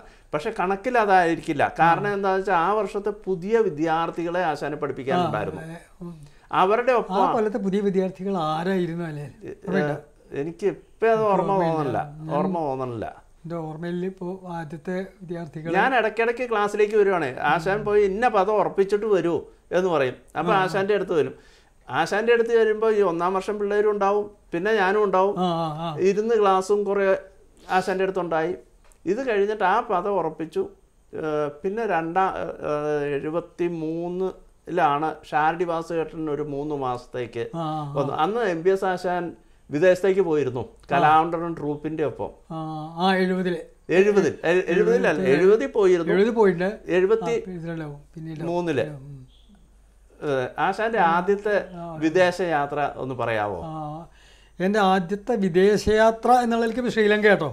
ഞാൻ പിന്നീട് അത് കഴിഞ്ഞ് വന്നപ്പോഴാണ് ശരിക്കും പറഞ്ഞാൽ ഈ കഥകളിയെ സംബന്ധിച്ചിടത്തോളം തന്നെ ഏറ്റവും ചരിത്രപ്രധാനമായിട്ടുള്ള രണ്ട് വിദേശയാത്രകളുണ്ട്. അത് ചരിത്രപ്രധാനം ഞാൻ പ്രത്യേകം പറയാൻ കാരണം കഥകളിയെ ഒരു നൃത്ത നൃത്തരൂപമായിട്ടാണ് അതുവരെയും കണ്ടിരുന്നത്. പാശ്ചാത്യർ കണ്ടിരുന്നത്. കഥകളി ഡാൻസ് എന്നാണ് കഥകളി ഡാൻസ് എന്നാണ് പറയുക. ഈവൻ നമ്മുടെ കേന്ദ്ര സംഗീത അക്കാദമി പോലും അമ്മ കഥകളി ഡാൻസ് നട്ടായിരുന്നു. അതെ. അപ്പോൾ ഈ ഒരു കഥകളിയോടുള്ള ഈ ഒരു സമീപനത്തിൽ മാറ്റം വന്നത് അറുപത്തേഴിലും എഴുപതിലും അറുപത്തേഴിൽ നാലര മാസം യൂറോപ്പിലുണ്ടായി ഞങ്ങളുടെ യാത്ര. എഴുപതിലാണെങ്കിലും നാല് മാസം ഉണ്ടായി. അന്ന് യൂറോപ്പല്ല അന്ന് ഈ കിഴക്കൻ രാജ്യങ്ങൾ ജപ്പാൻ തുടങ്ങിയിട്ട് കിഴക്കൻ രാജ്യങ്ങൾ മുഴുവൻ കവർ ചെയ്ത് അമേരിക്കയിൽ രണ്ട് മാസം. അങ്ങനെയാണ് ആ രണ്ട് യാത്ര അന്നാണ് ശരിക്കും ഭൂമിക്ക് ചുറ്റും അന്നാണ് ശരിക്കും ഭൂമി ചുറ്റിയതും ഈ പറഞ്ഞില്ലേ രാമകുട്ടിദാസന്റെ ഫലിതം ഓർമ്മയില്ലേ? അപ്പം ഞാൻ ഇവിടെ വന്ന് വന്ന് കേട്ട് ഞങ്ങൾ മറ്റേ ഈ ഇന്റർനാഷണൽ ഡേറ്റ് ലൈൻ കടന്നു. അതായത് ഫീജിന്ന് ഹവായിലേക്ക് പറക്കുമ്പോഴാണ് ഈ ഇന്റർനാഷണൽ ഡേറ്റ് ലൈൻ അതെ. അതിന്റെ ഇടയിലാണ് ഈ ഫീ. അപ്പോൾ ഇതിവിടെ വന്ന് പറഞ്ഞപ്പോൾ മറ്റേ രാമകൃഷ്ണൻ അങ്ങനെ പറഞ്ഞു ആ, ഫലിതായിട്ട് പറയുകയാണ് ആശാന്റെ ഫലിതങ്ങൾ പറയാണ്ടിരിക്കാൻ പറ്റുന്നില്ല. അതാ പറഞ്ഞു. ഞങ്ങൾ ഇന്റർനാഷണൽ ഡേറ്റ് ലൈൻ കണ്ടു. ആശാൻ ഒരു ഒരു ഒരു പറയാ. അപ്പോൾ പറഞ്ഞു അപ്പോൾ ഞാനും ഉണ്ട് സൂപ്രണ്ട് ഞാൻ ഉണ്ട് രാമകൃഷ്ണൻ ഉണ്ട്. അപ്പോൾ പലരൊക്കെ ഉണ്ട് ഒരു വെടിവട്ടത്തിൽ അപ്പോൾ പറഞ്ഞു അപ്പം ഇച്ചിരി ഉള്ളിൽ ഇങ്ങനെ പരി നമുക്ക് പറയാൻ വയ്യല്ലോ. പറഞ്ഞു. അപ്പം ഞാൻ അപ്പം ഞാനൊരു തമാശ പറഞ്ഞു. പക്ഷേ ഞാനത് കണ്ടില്ലിട്ട്. പറഞ്ഞു. താൻ കിടന്നുറങ്ങിയിട്ടായിരിക്കും. രാത്രി രാത്രി ഫ്ലൈറ്റ് ഉണ്ടായിരുന്നേ. അപ്പോൾ ഈ ഇന്റർനാഷണൽ ഡേറ്റ് ലൈൻ എന്ന് പറഞ്ഞാൽ അന്ന് ശരിക്കും ഭൂമി ചുറ്റിനായിരുന്നു. അന്ന് ജപ്പാനിലേക്ക് അങ്ങോട്ട് പോയിട്ട് ഈ Hong Kong Indonesia Malaya Indonesia Australia Fiji അത് കഴിഞ്ഞിട്ട് ഹവായിലേക്ക് എത്തി. ഹവായ് അമേരിക്കയുടെ അമ്പതാമത്തെ സ്റ്റേറ്റ് ആണല്ലോ. അതെ. പിന്നെ ഹവായിൽ നിന്ന് മെയിൻലാൻഡിലേക്ക് ഈ ലോസ് ആഞ്ചലസിൽ വന്ന് അവിടെ പിന്നെ അവസാനം ഞങ്ങൾ ന്യൂയോർക്കിൽ നിന്നാണ് തിരിച്ചു പോകുന്നത് അന്ന് ട്രൂപ്പ് മാനേജർ ആരായിരുന്നു? അറുപത്തേഴത്തെ ട്രൂപ്പ് മാനേജർ ഒരു സ്വാമിയായിരുന്നു. ഇവിടുത്തെ കാലം അവിടെ സെക്രട്ടറി ആയിരുന്നു സുബ്രഹ്മണ്യർ അവിടെ കാലം സുബ്രഹ്മണ്യ. രണ്ടാമത്തത് സൂപ്രണ്ടായിരുന്നു. പക്ഷേ ആദ്യത്തെ ഈ അറുപത്തേഴ് യാത്രയുടെ ഒരു വലിയൊരു വിവരണമുണ്ട്. നമ്മളിപ്പോൾ ഇതിൽ പറഞ്ഞ അങ്ങനെ സമയം കളയണ്ട. പക്ഷേ ആ യാത്രയിൽ പ്രഗത്ഭന്മാർ മുഴുവൻ അതായത് അതിൽ രണ്ട് പേരാണ് അതിൽ ഇല്ലാണ്ടിരുന്നത്. അന്നത്തെ ഏറ്റവും മുൻകടക്കാരായിട്ടുള്ള രമ്പി ശാശാനും കൃഷ്ണൻ കുത്തിപ്പോളശം ഒഴിച്ചാൽ അന്ന് കഥകളി രംഗത്തെ കൃഷ്ണൻ നായരാശാൻ രാമൻകുട്ടി നായരാശാൻ പത്മനാഭ നായരാശാൻ ഗോപി ആശാൻ മ- മങ്കൊമ്പ് കോട്ടക കോട്ടക്ക് ശിവരാമൻ നെല്ലിയോട് പിന്നെ ഞങ്ങൾ ഉണ്ട് ഏറ്റവും ജൂനിയറായിട്ടുള്ളത് കെ ജി വാസു ഞാനുമായിരുന്നു. ഉണ്ട്. പാട്ടിനാച്ചാൽ നെടുങ്ങാടിയും രാമവാരനാണ് അല്ലേ? അപ്പോൾ നമ്പിശാചനെ ഉൾപ്പെടുത്താനായിരുന്നു ഉദ്ദേശം. അതന്ന് വേറെ ചില പ്രശ്നങ്ങളൊക്കെ വന്നിട്ട് നെടുങ്ങാടിയും നമ്പീശാചാനെ അപ്പോൾ കൊട്ടിന് കലാമണ്ഡലം കേശവനും മറ്റേ അപ്പുട്ടിപ്പുളാശാനും ചൊട്ടിക്ക് ഗോവിന്ദവരാശാനും ഒരു കങ്ങഴ മാസം ഉണ്ടായിരുന്നു തെക്കൻ സുബ്രഹ്മണ്യയിലും അപ്പം നിറഞ്ഞ ഒരു ട്രൂപ്പായിരുന്നു അറുപത്തേഴിലത്തെ യാത്ര. അത് മിലേനയുടെ ഒരു മറ്റേ മേൽനോട്ടത്തിലാണ് അത് നടന്നത്. മണ്ഡപ മണ്ഡപത്ത് മണ്ഡപത്തെ അന്ന് മണ്ഡപം സ്ഥാപിച്ചിട്ടില്ല. സ്ഥാപിച്ചില്ല അപ്പോൾ അതിൽ പാരീസിലുള്ള തിയേറ്റർ ഡി നാഷൻസ് പറഞ്ഞ വളരെ പ്രശസ്തമായിട്ടുള്ള ഒരു തിയേറ്റർ. അതിലൊരു പരിപാടി കിട്ടുകയാണെന്നുണ്ടെങ്കിൽ അതിൽ വിജയിക്കുകയാണെന്നുണ്ടെങ്കിൽ യൂറോപ്പ് മുഴുവൻ അംഗീകരിച്ചു എന്നുള്ളതാണ് അന്നത്തെ ഒരു കാഴ്ചപ്പാട്. പാരീസ് അംഗീകരിക്കുക എന്ന് പറഞ്ഞാൽ യൂറോപ്പ് അംഗീകരിച്ചു. അതായിരുന്നു ഒന്ന് അന്ന് ആ പരിപാടി കഴിഞ്ഞതിന്റെ ശേഷം ആദ്യത്തെ പത്രങ്ങളിൽ വന്നതൊക്കെ അല്ലെങ്കിൽ മറ്റേ ലോകത്തിലെ ഏറ്റവും ശക്തമായിട്ടുള്ള നാടക തിയേറ്റർ എന്നുള്ള ഒരു വിശേഷണം കഥകളിക്ക് അന്ന് കടന്നു വന്നത് ആ കാലഘട്ടത്തിലാണ്. അതിനെ തുടർന്നാണ് പിന്നീട് പല മറ്റേ ഈ പാശ്ചാത്യ രാജ്യങ്ങളിലെ നാടക സംവിധായകർ നൃത്ത ഇവരൊക്കെ കഥകളിയെക്കുറിച്ച് ഒരു പുതിയൊരു അവബോധം അവർക്കുണ്ടായതും പിന്നീട് യുജിന ബാർബ അല്ലേ? അവരൊക്കെ ഉണ്ടല്ലോ? അവരൊക്കെ ഇതിലേക്ക് കൂടുതൽ ശ്രദ്ധിക്കാൻ അവർ അദ്ദേഹം പറഞ്ഞ നേരത്തെ വന്നിട്ടുണ്ടെങ്കിലും ഇതിനെ ഉൾക്കൊണ്ടായിരുന്നില്ല. കാരണം Peter Brook Peter Brook Peter Brook കണ്ടിട്ടുണ്ടായിരുന്നു? അല്ല അവിടെ ആയിരുന്നു അവിടെ? അപ്പോൾ അത് ആ രണ്ട് യാത്രകളുണ്ട്. എഴുപതിലത്തെ യാത്ര എന്താ വെച്ചിട്ടുണ്ടെങ്കിൽ അത് ഈ അമേരിക്കയിൽ മിക്കവാറും യൂണിവേഴ്സിറ്റികളിലായിരുന്നു പരിപാടി. അപ്പോൾ കഥകളിയുടെ ഒരു അക്കാഡമിക് തലത്തിലുള്ള കഥകളിയെ വിലയിരുത്തുന്ന വലിയൊരു സാഹചര്യം ഉണ്ടായത് ഈ എഴുപതിലത്തെ യാത്രയാണ്. അപ്പോൾ ഇവിടെ അറുപത്തേഴിൽ കഥകളി എന്താണെന്നുള്ള അതിന്റെ ഒറിജിനൽ രൂപത്തിൽ അതിന്റെ പ്രയോക്താക്കളിൽ നിന്ന് തന്നെ യൂറോപ്യൻ ഓഡിയൻസിനും അതുപോലെ പാശ്ചാത്യർക്കും കാണാനുള്ള സൗഭാഗ്യം ഉണ്ടായി. അതുവരെ അതുണ്ടായില്ല ഇങ്ങനെയും പതിനേഴ് പേരടങ്ങുന്ന ഒരു ട്രൂപ്പ് കഥകളി ട്രൂപ്പ് ആദ്യമായിട്ടാണ് അങ്ങനെ പുറത്തിറങ്ങുന്നത് നമ്മുടെ നിലവിളക്കടക്കം ഇവിടുന്ന് കൊണ്ടുപോയി. കഥകളിയുടെ കളിവിളക്കടക്കം മൂന്ന് മാസം മുമ്പേ ഷിപ്പ് ചെയ്തു ഇവിടുന്ന്. കലാമണ്ഡലത്തിൽ ഒരു വലിയ കഥകളി വിളക്കുണ്ടായിരുന്നു ഉണ്ടായിരുന്നു. ഉണ്ടായിരുന്നു അതാണോ? ആ ആ വിലക്ക് പിന്നെ രണ്ടാമത് പൊട്ടിയിട്ട് നമ്മൾ ഇത് ചെയ്തു. വിളക്ക് വിളക്ക്. വാർത്തു. അതാണ്ടായത് അപ്പോൾ അതിന്റെ അത്രയും ഓതന്റിക് ആവണം. ഈ അവതരണം എന്നുള്ള നിലയ്ക്കാണ് മറ്റേ അറുപത്തേഴിലെ യാത്ര അതിന്റെ നിഷ്കർഷകൾ അതൊക്കെ വളരെയധികം ഉണ്ടായിരുന്നു. അതിൽ അതിന് റിഹേഴ്സൽ കഥകളിക്ക് റിഹേഴ്സൽ കേട്ടിട്ടില്ല അന്നൊന്നും. ഇല്ല. ഒരാളും ഇതിന് തയ്യാറായിരുന്നില്ല. കൃഷ്ണൻ നായരാശാൻ അടക്കം ഈ കലാമണ്ഡലത്തിന്റെ സ്റ്റേജിൽ വന്ന് നരകാസുരൻ ചൊല്ലിയാടിയതിന്റെ അതൊരു ചരിത്ര രേഖയാണ് ശരിക്കും പറഞ്ഞാൽ. പക്ഷെ അപ്പോൾ ഈ പെർഫെക്ഷനെ കുറിച്ചാണ് പറഞ്ഞത്. ഈ നമ്മൾക്ക് പലതും നമ്മൾ കഥകളി ഇറങ്ങിയിട്ട് പലപ്പോഴും അശ്രദ്ധയായിട്ട് കഴിയുന്ന പല കാര്യങ്ങളും വിദേശികളെ സംബന്ധിച്ചോളം ഇപ്പോൾ ഒന്നുമില്ല. അപ്പോൾ കയ്യുമ്പത്തെ നഖം. വീഴും വിചാരിച്ചാൽ നമ്മൾ ഇവിടുത്തെ ഓഡിയൻസിന് അതിൽ പ്രശ്നമല്ല. അല്ല.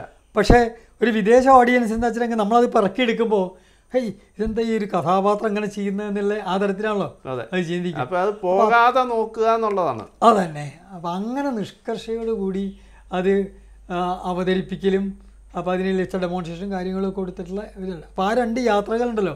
ആ രണ്ടിലും ഉൾപ്പെടാനുള്ള ഒരു സൗഭാഗ്യം എനിക്കുണ്ടായി. അത് പിൽക്കാലത്ത് എന്റെ കൂടുതൽ കൂടുതൽ വിദേശ യാത്രകൾക്കും വിദേശത്ത് അമേരിക്കയിൽ രണ്ട് മൂന്ന് സർവകലാശാലകളിൽ പഠിപ്പിക്കാനുള്ള സൗഭാഗ്യമൊക്കെ ഉണ്ടായതിന്റെ ഒരു ഒരു പശ്ചാത്തലം ഈ യാത്ര. അതുകൊണ്ട് തന്നെ ആയിരിക്കും മിലേന സാൽവിനിക്ക് കേരള കലാമണ്ഡലം ഒരു അവാർഡ് കൊടുക്കുകയും നമ്മുടെ രാജ്യം തന്നെ പത്മശ്രീ കൊടുത്ത് ആദരിക്കുകയും ചെയ്തത്. അത് ശരിക്ക് ആ പത്മശ്രീ എന്ന് പറയുന്നത് കലാമണ്ഡലത്തിനും കഥകളിക്കും ലഭിച്ച ഒരു അംഗീകാരമാണ്. ഒരു സംശയമില്ല കാരണം അവരുടെ ആ ഒരു മനസ്സും അവരുടെ ആ കോൺട്രിബ്യൂഷൻ നമ്മൾ അതിന്റെ ശരിക്കുള്ള അർത്ഥത്തിൽ നമുക്ക് മനസ്സിലാക്കിയ ഒരാൾ ഈ മിലേനയ്ക്ക് കൊടുത്തിട്ടുള്ള ഈ പത്മശ്രീ നൂറ് ശതമാനം ഉചിതമായി എന്ന് തന്നെ പറയുള്ളൂ.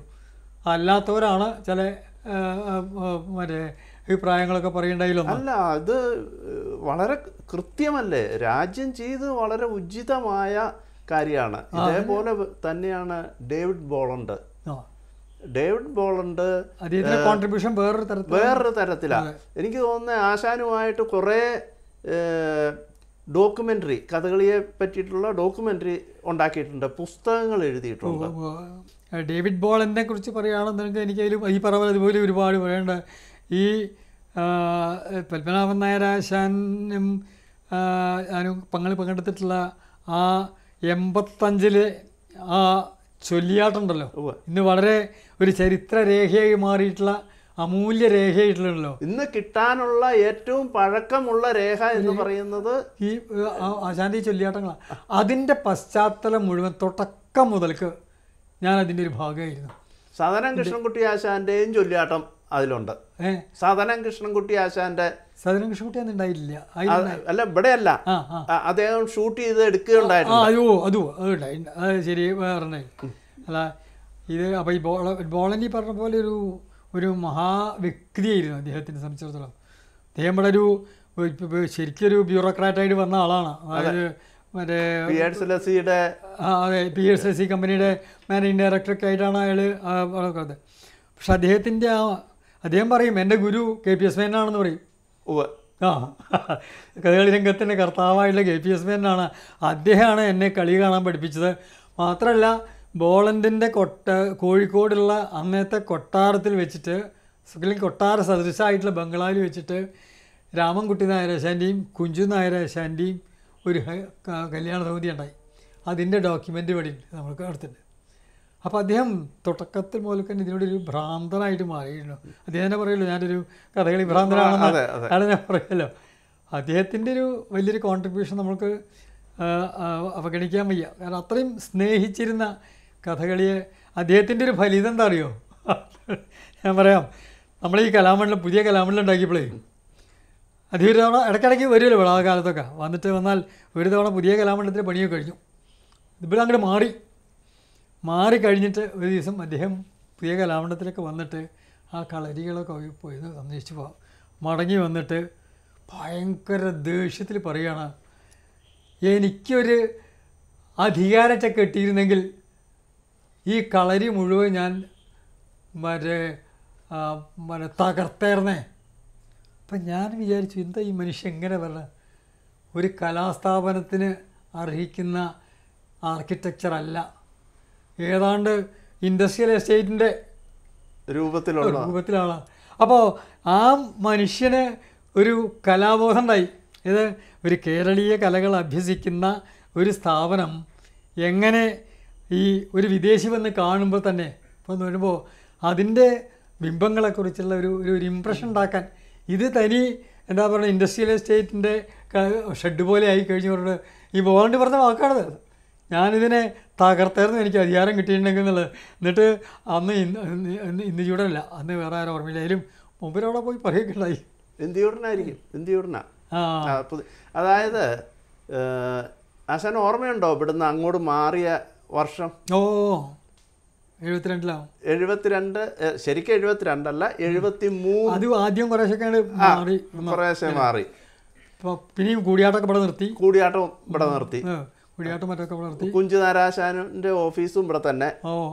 അങ്ങനെ ആയിട്ട് മാറിയിരുന്നു. പതുക്കെ കൊണ്ടാണ് അങ്ങോട്ട് മാറി മാറിയത്.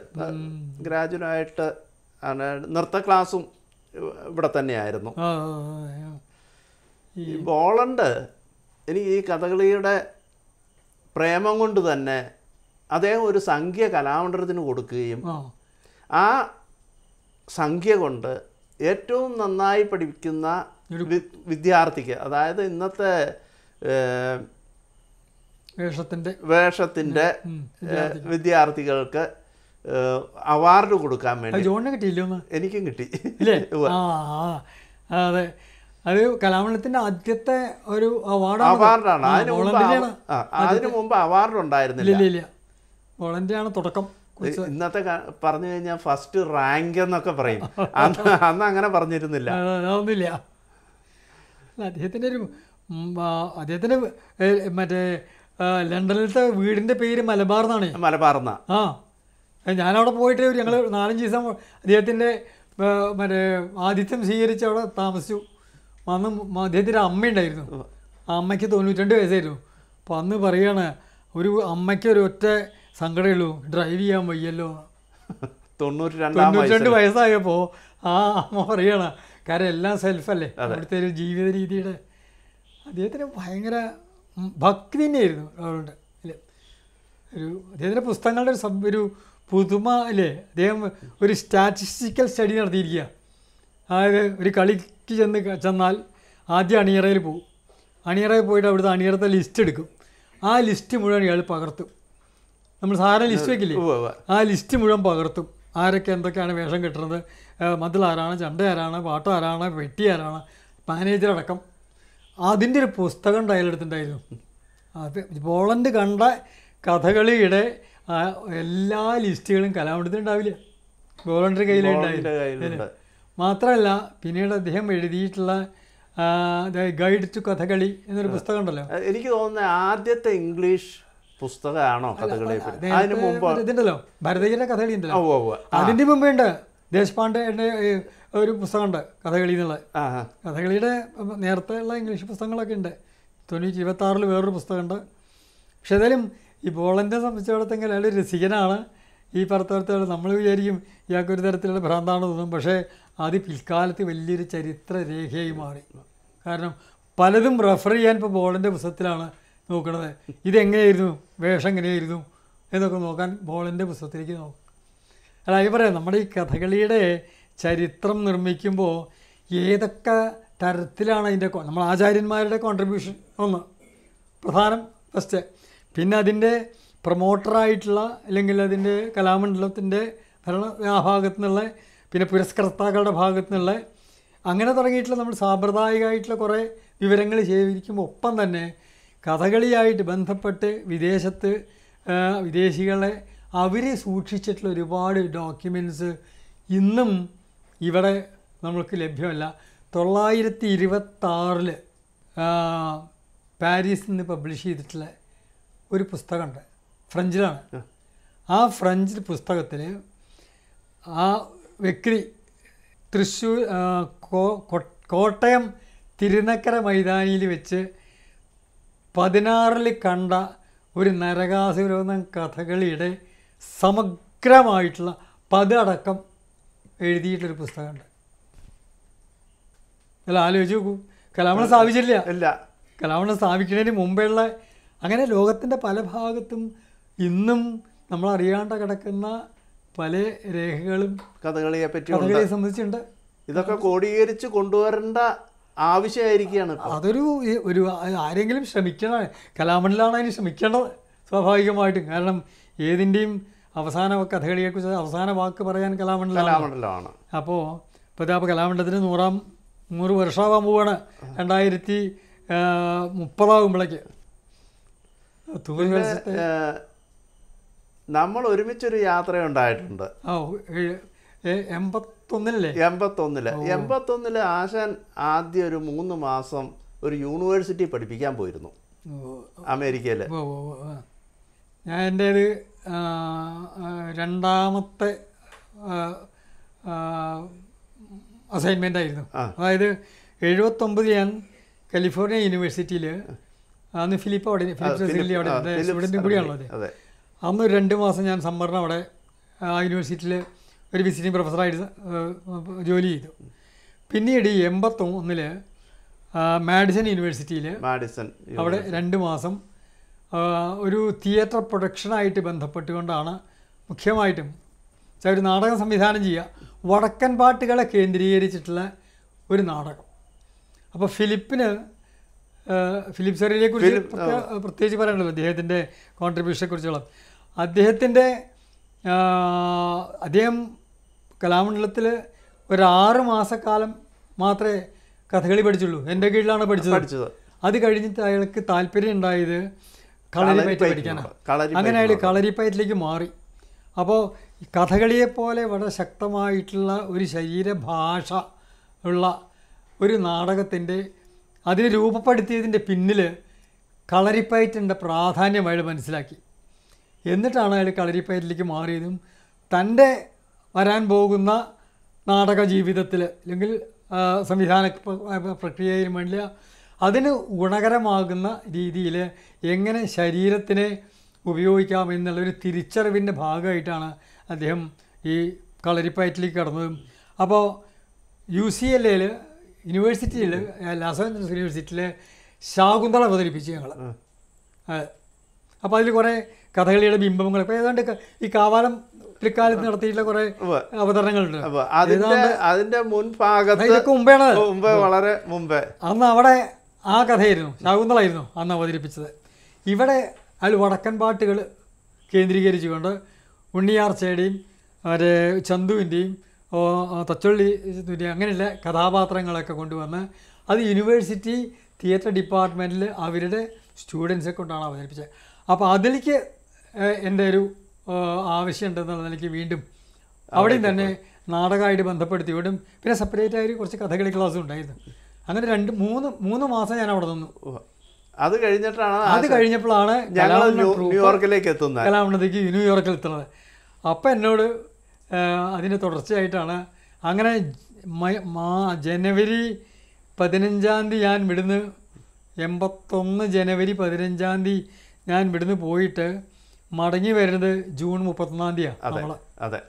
ആറ് മാസം. അപ്പം ജോൺ അപ്പോഴേക്ക് രാമ രാമമാരൊക്കെ ഉണ്ടായിട്ടുള്ള അസുഖം കാരണം ജോൺ അവിടെ തന്നെ നിന്നു. ഞങ്ങൾ മടങ്ങി. അങ്ങനെയാണല്ലോ ഉണ്ടായില്ല. അല്ലേ? ഫിലിപ്പ് സാറലി അന്ന് ആ യൂണിവേഴ്സിറ്റിയിൽ ഒരു കഥകളി വെക്കുകയുണ്ടായിട്ടുണ്ട്. അവിടെ ഒരു വർക്ക്ഷോപ്പും അതിനും ഞാനും പങ്കെടുക്കുകയുണ്ടായിട്ടുണ്ട്. ഗംഭീരമായിട്ട് അന്ന് ഇന്നത്തെ പ്രസംഗത്തിൽ പറയുണ്ടായി കലാമണ്ഡലത്തിൽ കഥകളി പഠിപ്പിക്കുന്നത് എട്ട് വർഷമാണ്. അത് ആറ് വർഷമാക്കിയപ്പോൾ തന്നെ അത് പഠിപ്പിക്കാൻ പറ്റുമോ എന്നൊരു സംശയം. പിന്നെ ഒരു വർക്ക്ഷോപ്പ് എന്ന് പറയുന്നത് ഒരു മാസക്കാലമൊക്കെ ആണെങ്കിൽ എന്തെങ്കിലുമൊക്കെ ചെയ്യാൻ പറ്റും. ഇത് ഒരാഴ്ച കൊണ്ട് കഥകളിയുടെ എന്താണ് പഠിപ്പിക്കാൻ പറ്റുന്നത് എന്നൊരു ചിന്താഗതിയായിരുന്നു അന്ന്. അന്ന് ഒന്നും പഠിപ്പിക്കാൻ പറ്റില്ല എന്നുണ്ടെങ്കിലും കുറേ എന്തെങ്കിലും പഠിപ്പിക്കാൻ പറ്റും എന്ന് പറഞ്ഞ് കാലുസാധകവും മുദ്രകളും എൻകണവ എന്നുള്ള പദവും. മാഞ്ചേൽ മിഴിയാള എന്നുള്ള ഏതാനും കുറച്ച് ഭാഗം. കുറച്ച് ഭാഗം ഒക്കെ പഠിപ്പിച്ചും കൊണ്ട് അന്നൊരു ഒരാഴ്ചത്തെ ക്ലാസ്.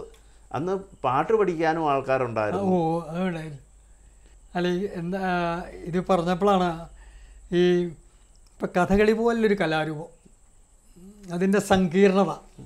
അതായത് പാട്ടും കൊട്ടും അഭിനയവും മേളവും ചിത്രകലയും ശില്പകലയും എല്ലാം ഉൾക്കൊണ്ടിട്ടുള്ള ഒരു കലാരൂപം വളരെ കലാപുരത്തിന് ആർട്ട് ഫോമിനെ എങ്ങനെയാണ് അതിനെ ലളിതവൽക്കരിക്കുക? ആ ലളിതവൽക്കരിക്കുക വെച്ചാൽ അതിനെ അതിന്റെ കോറായിട്ട് നിൽക്കുന്ന വിഷയങ്ങളെ തള്ളിക്കളയാണ്ട് എങ്ങനെ നമ്മൾ ഒരു പുതിയ സമൂഹത്തിന് പറഞ്ഞു കൊടുക്കും എന്നുള്ളത് ഒരുപാട് അനുഭവ പാഠങ്ങൾ എനിക്കുണ്ടായത് ഇത്തരം ഒരുപാട് അവസരങ്ങളാണ് അതിൽ അതിലേറ്റവും അവസാനമായിട്ടുള്ള ഒരു സംഭവം എന്താ വെച്ചാൽ ജർമ്മനിയിൽ ഒരു പതിനഞ്ച് ദിവസത്തെ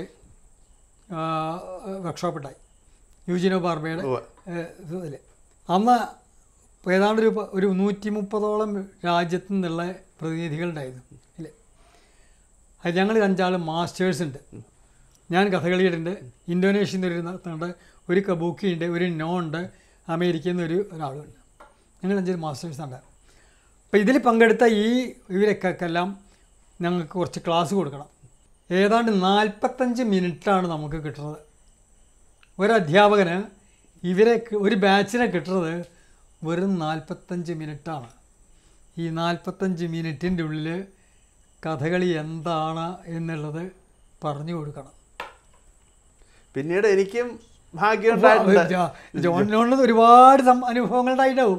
കാരണം അതൊക്കെ നമ്മുടെ യാത്രയുടെ ഒരു ഒരു ഭാഗമായിട്ടാണ് നമ്മൾക്ക് ജീവിതത്തിൽ കലാമണ്ഡലത്തിൽ നിന്ന് കിട്ടിയ അറിവ് നമുക്ക് പ്രയോഗിക്കാൻ കിട്ടുന്ന അത് മറ്റൊരു തലത്തിൽ അതുകൊണ്ടൊരു ചീത്തപ്പേരും ഉണ്ടായിട്ടുണ്ട് കാപ്സ്യൂൾ എന്നൊരു പേര് നമുക്ക് ഉണ്ടാകുകയുണ്ടായിട്ടുണ്ട് ജോണ് കാപ്സ്യൂൾ രീതിയിലാണ് ഇത് കൊടുക്കുന്നതെന്നൊരു പേരുമുണ്ട് ജിനിയ ബാർബയുടെ ഒപ്പം ഡെമോൺസ്ട്രേഷൻ ചെയ്യുന്നതിനും ഒരേ വേദിയിൽ സംയുക്ത പാണിഗ്രാഹി സംയുക്ത പാണിഗ്രഹിയുടെ ഒരു നൃത്തവും ഇതെല്ലാം കൂടി ഒരുമിച്ച് ഡെമോൺസ്ട്രേഷൻ ഉണ്ടാകാൻ ചെയ്യാനുള്ള ഒരു ഭാഗ്യം എനിക്ക് കിട്ടിയിട്ടുണ്ട്. അല്ല അതാണ് കിട്ടുന്ന അവസരം ഉപയോഗിക്കുക തന്നെ വേണം. ഉപയോഗിക്കുക ഓപ്പർച്യൂണിറ്റി നെവർ കംസ് എഗെയിൻ എന്ന് പറയും. അത് കൂടാതെ ഒരു ഒരു അവസരം നമുക്ക് മുന്നോട്ട് വെച്ചാൽ നമ്മളതിനെ രണ്ടാമത് സംശയിക്കരുതെന്ന് എന്റെ അനുഭവമാണ്. കാരണം ഒന്ന് സംശയിച്ചിരുന്നെങ്കിൽ എന്റെ ഹവായി യാത്രയുടെ പശ്ചാത്തലം അതാണ്. എഴുപത്തൊമ്പതിൽ ഹവായി യൂണിവേഴ്സിറ്റിയിൽ ഞാൻ പഠിപ്പിക്കാൻ പോയിട്ടൊരു സംഭവമുണ്ട്. അത് പഠിപ്പിക്കാനല്ല. അന്ന് അവിടെ ഒരു അന്തർദേശീയ ഒരു ഇന്റർനാഷണൽ ഡാൻസ് കോൺഫറൻസ് നടക്കട്ടെ. യൂണിവേഴ്സിറ്റി സ്പോൺസർ ചെയ്തിട്ടില്ല. അതിലൊരു പ്രബന്ധം വായിക്കണം. അതാണ് കഥകളിയെക്കുറിച്ചൊരു പ്രബന്ധം വായിക്കണം. ബെറ്റിയും ജോൺസുമാണ് അതിന്റെ പശ്ചാത്തലം. അവർ സൂപ്രണ്ടിനെ എഴുതി ഇങ്ങനെ എന്നെ അയച്ചു തരണം എന്ന് പറഞ്ഞത് അപ്പോൾ ഒരു പ്രബന്ധം അവതരിപ്പിക്കുകയാണ് അവിടെ ആവശ്യം. അപ്പോൾ ഡെമോൺസ്ട്രേഷൻ ഉണ്ട്. ഞാൻ എന്നെ സൂപ്രണ്ട് വിളിച്ചു. വിവരം പറഞ്ഞപ്പോൾ എനിക്ക് ഞാൻ അതിന് പിന്മാറാൻ തുടങ്ങിയ കാരണം എന്താ വെച്ചാൽ നമുക്ക് വേണ്ടത്ര ഭാഷയില്ല. ഒറ്റയ്ക്കാണ് പോകേണ്ടത്. ഒറ്റയ്ക്ക്. കലാമിലെ ട്രൂപ്പില്ല എന്നെ സഹായിക്കാൻ ആരുമില്ല. ഞാൻ ഒറ്റയ്ക്ക് പോയി അവിടെ പോയി ആ വേദിയിൽ പോയി പ്രബന്ധം അവതരിപ്പിച്ച് വേണ്ടി പുറമുണക്കണം അപ്പോൾ എനിക്കുള്ള ആത്മവിശ്വാസം അത്ര ഉണ്ടായില്ല. അപ്പം ഞാനൊന്നിങ്ങനെ പിന്മാറി. ജോൺസിന്റെ പറ്റിയിട്ട് നിരന്തരമായിട്ടുള്ള സമ്മർദ്ദം. സൂപ്രണ്ട് പറഞ്ഞു പ്രബന്ധമൊക്കെ ഞാൻ സഹായിക്കാം. താൻ അത് പോകണം എന്ന് പറഞ്ഞു. പിന്നെ ഇപ്പോൾ സൂപ്രണ്ട് പറഞ്ഞാൽ എനിക്ക് ഗുരുനാഥനാണ്. ഗുരുനാഥനെ പോലെയാണ്. ഒന്ന് ആലോചിച്ചാൽ ഞാൻ ചാടി പുറപ്പെട്ടു കേട്ടോ. അതൊരു ഭയങ്കര അനുഭവം ഒരുപാട് അനുഭവങ്ങൾ അതുണ്ടായി അതിലത്തെ ഏറ്റവും ആ അനുഭവത്തിന്റെ ഏറ്റവും വലിയൊരു ഒരു ഒരു ഭാഗം എന്താ വെച്ചാൽ സൂപ്രന്റെ എഴുതിയിട്ടുള്ള ഈ ഇത് അന്നത്തെ എന്റെ ഭാഷയും എനിക്ക് ഉൾക്കൊള്ളാൻ തന്നെ വയ്യാത്ത ഭാഷകളൊക്കെ ആയിരുന്നു. അവിടെ ചെന്ന് അത് മുഴുവൻ ഞാൻ റീറൈറ്റ് ചെയ്തു എന്റെ ബട്ട്ലർ ഇംഗ്ലീഷിൽ അതുകൂടിയുണ്ട് എന്നിട്ട് ഞാനത് അവതരിപ്പിക്കാൻ വേണ്ടി സ്റ്റേജിൽ കയറിയപ്പോൾ മുൻനിരയിൽ ഇരിക്കുന്ന ആരറിയോ? ഡോക്ടർ കപില മാൽസേ ഓ ഇന്ത്യയിൽ ഇതിലും വലിയൊരു ഒരു പണ്ഡിതയില്ല. ഇല്ല. ഡോക്ടർ കപില വാത്സേയൻ ഡോക്ടർ മോഹൻ ഖോക്കർ വലിയ പണ്ഡിത്. സുരേഷ് അബാസ്തി ആ, മറ്റേയാൾ മറ്റൊരു മറ്റേ- ഉണ്ട് പിന്നെ ബാലസരസ്വതി ലക്ഷ്മി ഇങ്ങനെ തുടങ്ങിയിട്ടുള്ള ഇന്ത്യയിലത്തെ പ്രമുഖരായിട്ടുള്ള ഒരുപാട് ആൾക്കാർ മുമ്പിൽ ഇരിക്കുന്നുണ്ട്. എനിക്കത് കണ്ടപ്പോൾ തന്നെ മറ്റേ അറിയാത്തവരാച്ചാൽ പിന്നെയും നമുക്കൊരു ഇത് കിട്ടും. എനിക്ക് ആകെ വിഷമമായി തുടങ്ങി ഏതായാലും സ്റ്റേജിൽ കയറി ഞാനിങ്ങനെ പറയാൻ തുടങ്ങി. ഞാൻ തയ്യാറാക്കിയിട്ടുള്ള ഒരു ഡെമോൺസ്ട്രേഷന്റെ കുറച്ച് കഴിഞ്ഞപ്പോൾ കപില കയറി വന്നു. സ്റ്റേജിൽ കയറി വന്നു. അപ്പോൾ ഞാൻ വിചാരിച്ച് സമാധാനമായി ഇനി എനിക്കിപ്പോൾ കാണിക്കല്ലേ വേണ്ടു? പറയലൊക്കെ കവില കഴിച്ചുവല്ലോ വിചാരിച്ചിട്ട് ഞാൻ സമാധാനിച്ച്. അപ്പോൾ കാലിസാധമൊക്കെയാണ്. അവിടെ അടിസ്ഥാനപരമായിട്ടുള്ള പാഠങ്ങളാണ് നമ്മളിപ്പോൾ ചെയ്യുന്നത് കുറച്ച് കഴിഞ്ഞപ്പോൾ ഓഡിയൻസിന്റെ എഴുന്നേടുന്ന ഒരു കൈ വന്ന് അവർ പറയുകയാണ് "ആ, Kapilaji we greatly respect you but we would like to hear Shankar ആവു ഇത് പറഞ്ഞപ്പോൾ എനിക്കെന്റെ മനസ്സിൽ ഞാൻ കാരണം ഈ ഒരു മഹാവ്യക്തിക്ക് ഒരു അവമാനം ഉണ്ടാവില്ലേ വേണ്ടത്? അല്ല തീർച്ചയായും. അവർക്ക് നിങ്ങളെ ശബ്ദമല്ല കേട്ടത് മറ്റേ എന്റെ ശബ്ദമാണ് കേൾക്കേണ്ടത് എന്ന് പറഞ്ഞപ്പോൾ കപില ഒട്ടും സംശയമില്ലാണ്ട് ആ മൈക്ക് എന്റെ അടുത്ത് ശങ്കർ യു കണ്ടിന്യൂ എന്ന് പറഞ്ഞ് തോന്നുന്നു അവിടുന്ന് അങ്ങോട്ട് ഒരു മണിക്കൂർ ഞാൻ എങ്ങനെ കഴിച്ചു കൂട്ടിയെന്ന് എനിക്ക് മനസ്സിലില്ല ഏതായാലും ഞാനെന്റെ ഒരു മണിക്കൂർ അവിടെ കഴിച്ച് കഴിഞ്ഞ ഉടനെ കപില കയറി വന്നു ആദ്യം. എന്നെ അഭിനന്ദിച്ചു. Shankar you are very clear എന്ന് പറഞ്ഞ് അവരെന്നെ വളരെ അഭിനന്ദിച്ചു. ഒരു സാധാരണ അഭിനന്ദന അല്ല കേട്ടോ കാരണം നമ്മൾ വിചാരിക്കും ഒരു മുഖവിലയ്ക്ക് എടുക്കുന്ന അഭിനന്ദന. അതല്ല എന്നുള്ളത് മനസ്സിലായത് അവർ തിരിച്ചെത്തിയിട്ട് ഡൽഹിയിലെത്തിയിട്ട് എനിക്ക് കത്തെഴുതി. ആ കത്ത് എന്റെ അടുത്ത് ഇപ്പോഴും ഉണ്ട്. കവിൽ എഴുതിയുള്ള കത്ത്. അപ്പോൾ എന്താ പറഞ്ഞത്? അവർ പറഞ്ഞു പിന്നെന്താ വെച്ചിട്ടുണ്ടെങ്കിൽ അവർ പറഞ്ഞത് ശരിയാണ് Shankar. What they told is true because I am not a Kathakali actor actress you are a Kathakali actor they want to know your experience personal experience ഇത് ആ കപില പറഞ്ഞു പിന്നീട്. ഏറ്റവും അവസാനമായിട്ട് എനിക്ക് പ്രസിഡന്റിന്റെ അവാർഡ് കിട്ടി. ഞാൻ രണ്ടായിരത്തി പതിനാല് ഡൽഹിയിൽ പോയപ്പോൾ അവിടെ കപില ആ രംഗത്ത് കാണാൻ വന്നിട്ട്. അല്ലേ? അവസാനം ഞാൻ അവരെ കണ്ടു. കണ്ട അവർ ഈ ഇത് മുഴുവൻ ഓർമ്മിച്ചു ഓർമ്മിച്ചു. അവർ പറഞ്ഞു എന്നോട് അപ്പോൾ ഒരു ഫോട്ടോ ഒക്കെ എടുത്തിട്ട് ഞങ്ങൾ അതൊക്കെ ഒരു ഫോട്ടോ ഒക്കെ എടുത്തു. അല്ല ഞാൻ പറഞ്ഞു വരച്ചെങ്കിൽ നമ്മുടെ ഈ ഒരു അവസരം കിട്ടുമ്പോൾ നമ്മൾ അതിനെ തട്ടിക്കളയാണ്ട് പിന്നീട് ഇല്ലെങ്കിൽ ഞാൻ അന്നത് അങ്ങോട്ട് വേണം വിചാരിച്ചിട്ടുണ്ടെങ്കിൽ പിന്നീട് എനിക്ക് എങ്ങനെയാണ് വേണം നിശ്ചയമുണ്ടാവില്ല അല്ല അപ്പോൾ ഒരു ഒരു നമുക്കിപ്പോൾ ഒരു നിയോ നിയോഗമാണെന്നൊക്കെ പറയാം. ശരിയാണ് നീ യോഗ ആണേനും. ഏതായാലും കഥകളി രംഗത്ത് അങ്ങനെയൊക്കെ കുറേ നമുക്ക് ഈ എൺപതിൽ എത്തി നിൽക്കാൻ പോവുകയാണ് എഴുപത്തൊമ്പതാവാൻ പോവുകയാണ്. നിൽക്കുന്ന ഒരു ഘട്ടത്തിൽ എനിക്ക് ഒരുപാട് അനുഭവങ്ങൾ ഉണ്ടായിട്ടുണ്ട്. അനുഭവങ്ങൾ പങ്കുവയ്ക്കാനുള്ള ഞാൻ എന്റെ അനുഭവങ്ങളെ ക്രോഡീകരിച്ചു കൊണ്ടൊരു പുസ്തകം അവസാനം എഴുതി കഴിഞ്ഞു. അതിപ്പോൾ കലാമണ്ഡലം പബ്ലിഷ് ചെയ്യാൻ വലിയ താമസമില്ലാണ്ട് ഒരു പിതാവിനോട് പറഞ്ഞുള്ളത്. പിന്നെ ആ- ആശാന് ഈ കലാമണ്ഡലത്തിൽ അധ്യാപകനായി ചേർന്നു പ്രൊഫസറായി പ്രിൻസിപ്പളായി.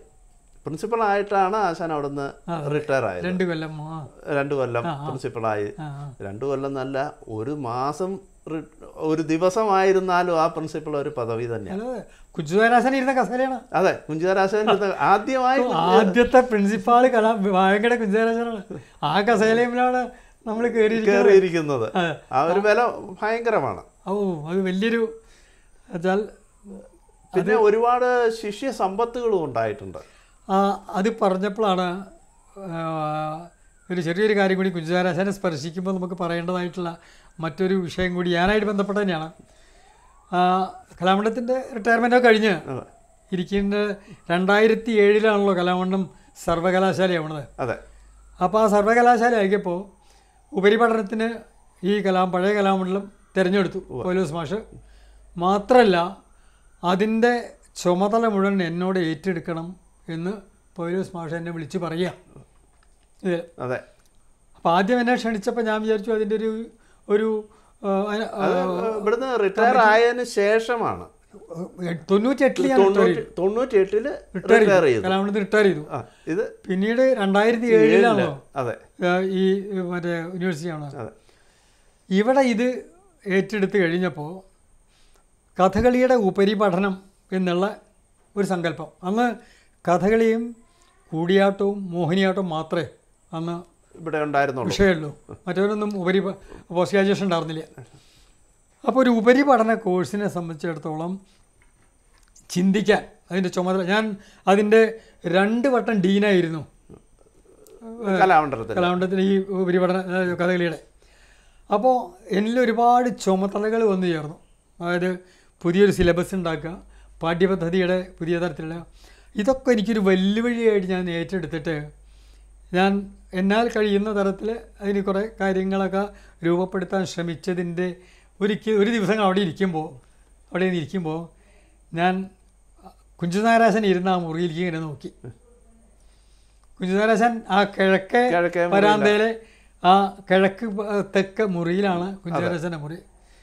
കുഞ്ചുനാരാശനെ നമ്മൾ കാണുന്നത് മൂന്ന് തരത്തിലാണ് ഒന്നുമില്ലെങ്കിൽ ആശാൻ കളരിയിൽ ചൊല്ലിയടിക്കുന്നുണ്ടാവും അല്ലെങ്കിൽ അരങ്ങത്ത് വേഷം ആവും. അല്ലെങ്കിൽ ആശാൻ മേശം ഇരുന്ന് എഴുതും എഴുതി. ഇങ്ങനെ മൂന്ന് ചിത്രങ്ങളാണ് എനിക്ക് കുഞ്ചുതാരാശാനെ കുറിച്ചുള്ളത്.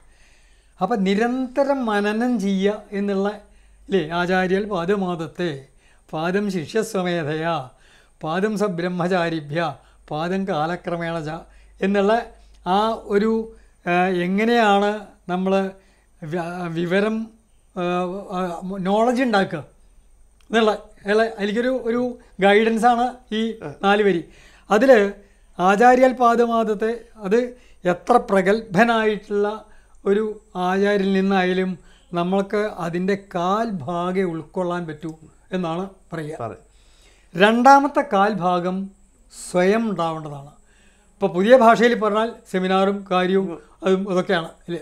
അപ്പോൾ സ്വയം ഉണ്ടാക്കിയെടുക്കേണ്ടതാണ് രണ്ടാമത്തെ. മൂന്നാമത്തത് സബ്രഹ്മചാരിഭ്യ. സഹ പാഠികളായിട്ടുള്ള ഡിസ്കഷൻ അവരുതായിട്ടുള്ള ഇടപെടൽ അങ്ങനെ നേടേണ്ടതായിട്ടുള്ളതല്ല മറ്റ് കാലക്രമേണ നമ്മൾ മരിക്കുന്നവരെയും ഒരു വിദ്യാർത്ഥിയായിട്ട് ഇരിക്കാൻ തയ്യാറാണെങ്കിൽ അതാണ് അത് തരുന്ന ഒരു മെസ്സേജ് അതാണ്. നമ്മൾ ജീവിതത്തിൽ അവസാനം വരെയും ഒരു വിദ്യാർത്ഥിയായിട്ട് നമ്മൾ ജീവിക്കുക. വിദ്യാർത്ഥി എന്ന് പറഞ്ഞാൽ നോളജ് സമ്പാദിക്കാൻ വേണ്ടിയിട്ട് നമ്മൾ നിരന്തരം വിശ്വസിക്കില്ല അപ്പോൾ ഈ ആശാനെ ഞാൻ ഇങ്ങനെ വിചാരിക്കും വിചാരിക്കും ഈ ആശാൻ എനിക്ക് ഊർജം തരുന്നുണ്ട്. ഇതിനെപ്പറ്റി ചിന്തിക്കുക കാരണം ഞാൻ ഒന്ന് രണ്ട് സ അവതരണ ആശാന്റെ അടുത്ത് സംശയം ചോദിക്കാൻ തോന്നും. അപ്പോൾ അന്നൊന്നും ആരും ഒരു സംശയം ചോദിക്കാൻ ഒരു ആശാന്റെ അടുത്ത് പോയില്ല. ഇല്ല. അന്നത്തെ കാലാതായിരുന്നു പേടിച്ചിട്ടാണ്. എന്താ പറയാൻ വിഷയമല്ലോ അപ്പോൾ ആശാനെടുത്ത് ചെന്നപ്പോൾ അത് ഒരു വിഷയം അടിസ്ഥാന ചില വിഷയമാണ്.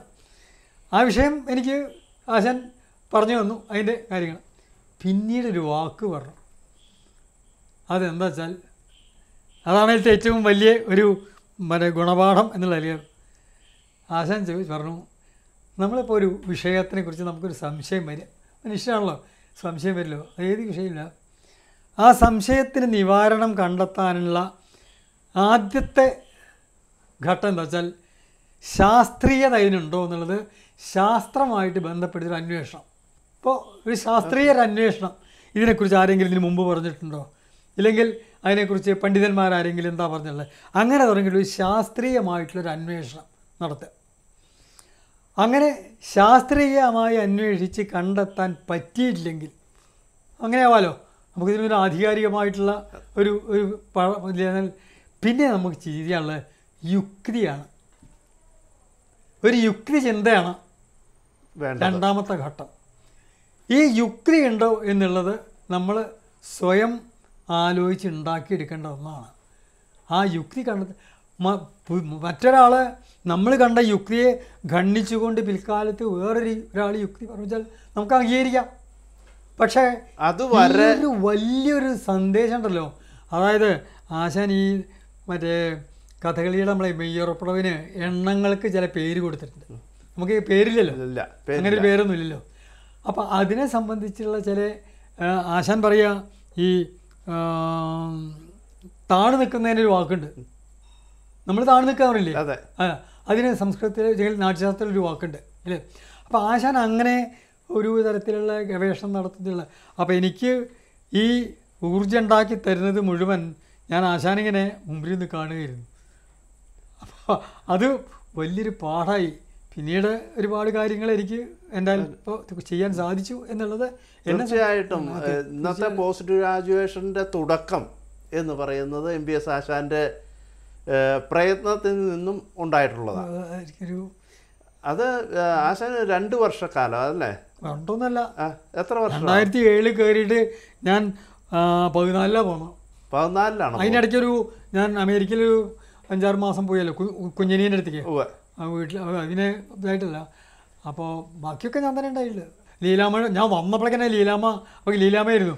അപ്പോൾ വന്നു ആശാൻ ഞാൻ ഈ കഥാലമി ഇരിക്കാൻ പറ്റില്ല കേട്ടോ. ആശാൻ തന്നെ കയറി വരണം കേട്ടോ പറഞ്ഞു. അപ്പോഴേക്ക് സുരേഷ് എന്നാണ് അപ്പോൾ അപ്പോൾ ഞാൻ പറഞ്ഞു എനിക്ക് ഇനി ഇനി ഞാൻ ഡയറക്ടർ ആവാൻ ഞാൻ താല്പര്യമില്ല. എന്ന് പറഞ്ഞപ്പോൾ അവസാനം പഴയ വി സി വി സി എനിക്ക് ഒരു ഞായറാഴ്ച ഞാൻ മഞ്ചേരി നിൽക്കുമ്പോൾ എനിക്കൊരു ഫോൺ വന്നു. ഇങ്ങനെ ആശാനോട് കുറച്ച് വർത്തമാനം പറയാണ്ട് ഒന്ന് വരണം എന്ന് പറഞ്ഞിട്ട് അധികം അതീന്ന് പറഞ്ഞു ഡയറക്ടർ ആവണം ഏറ്റെടുക്കണം എന്ന് പറഞ്ഞിട്ട് പറഞ്ഞു. പിന്നീട് കൂടുതൽ വിവരങ്ങൾ കൃഷ്ണകുമാർ പറയുന്നു പറഞ്ഞു അവിടെ. ഞാൻ തിരിച്ചിവിടെ എത്തിയിട്ട് കൃഷ്ണകുമാർ വന്നപ്പോൾ ഞാൻ പറഞ്ഞു "ആ, കൃഷ്ണകുമാർ എനിക്ക് ബുദ്ധിമുട്ടാണ്.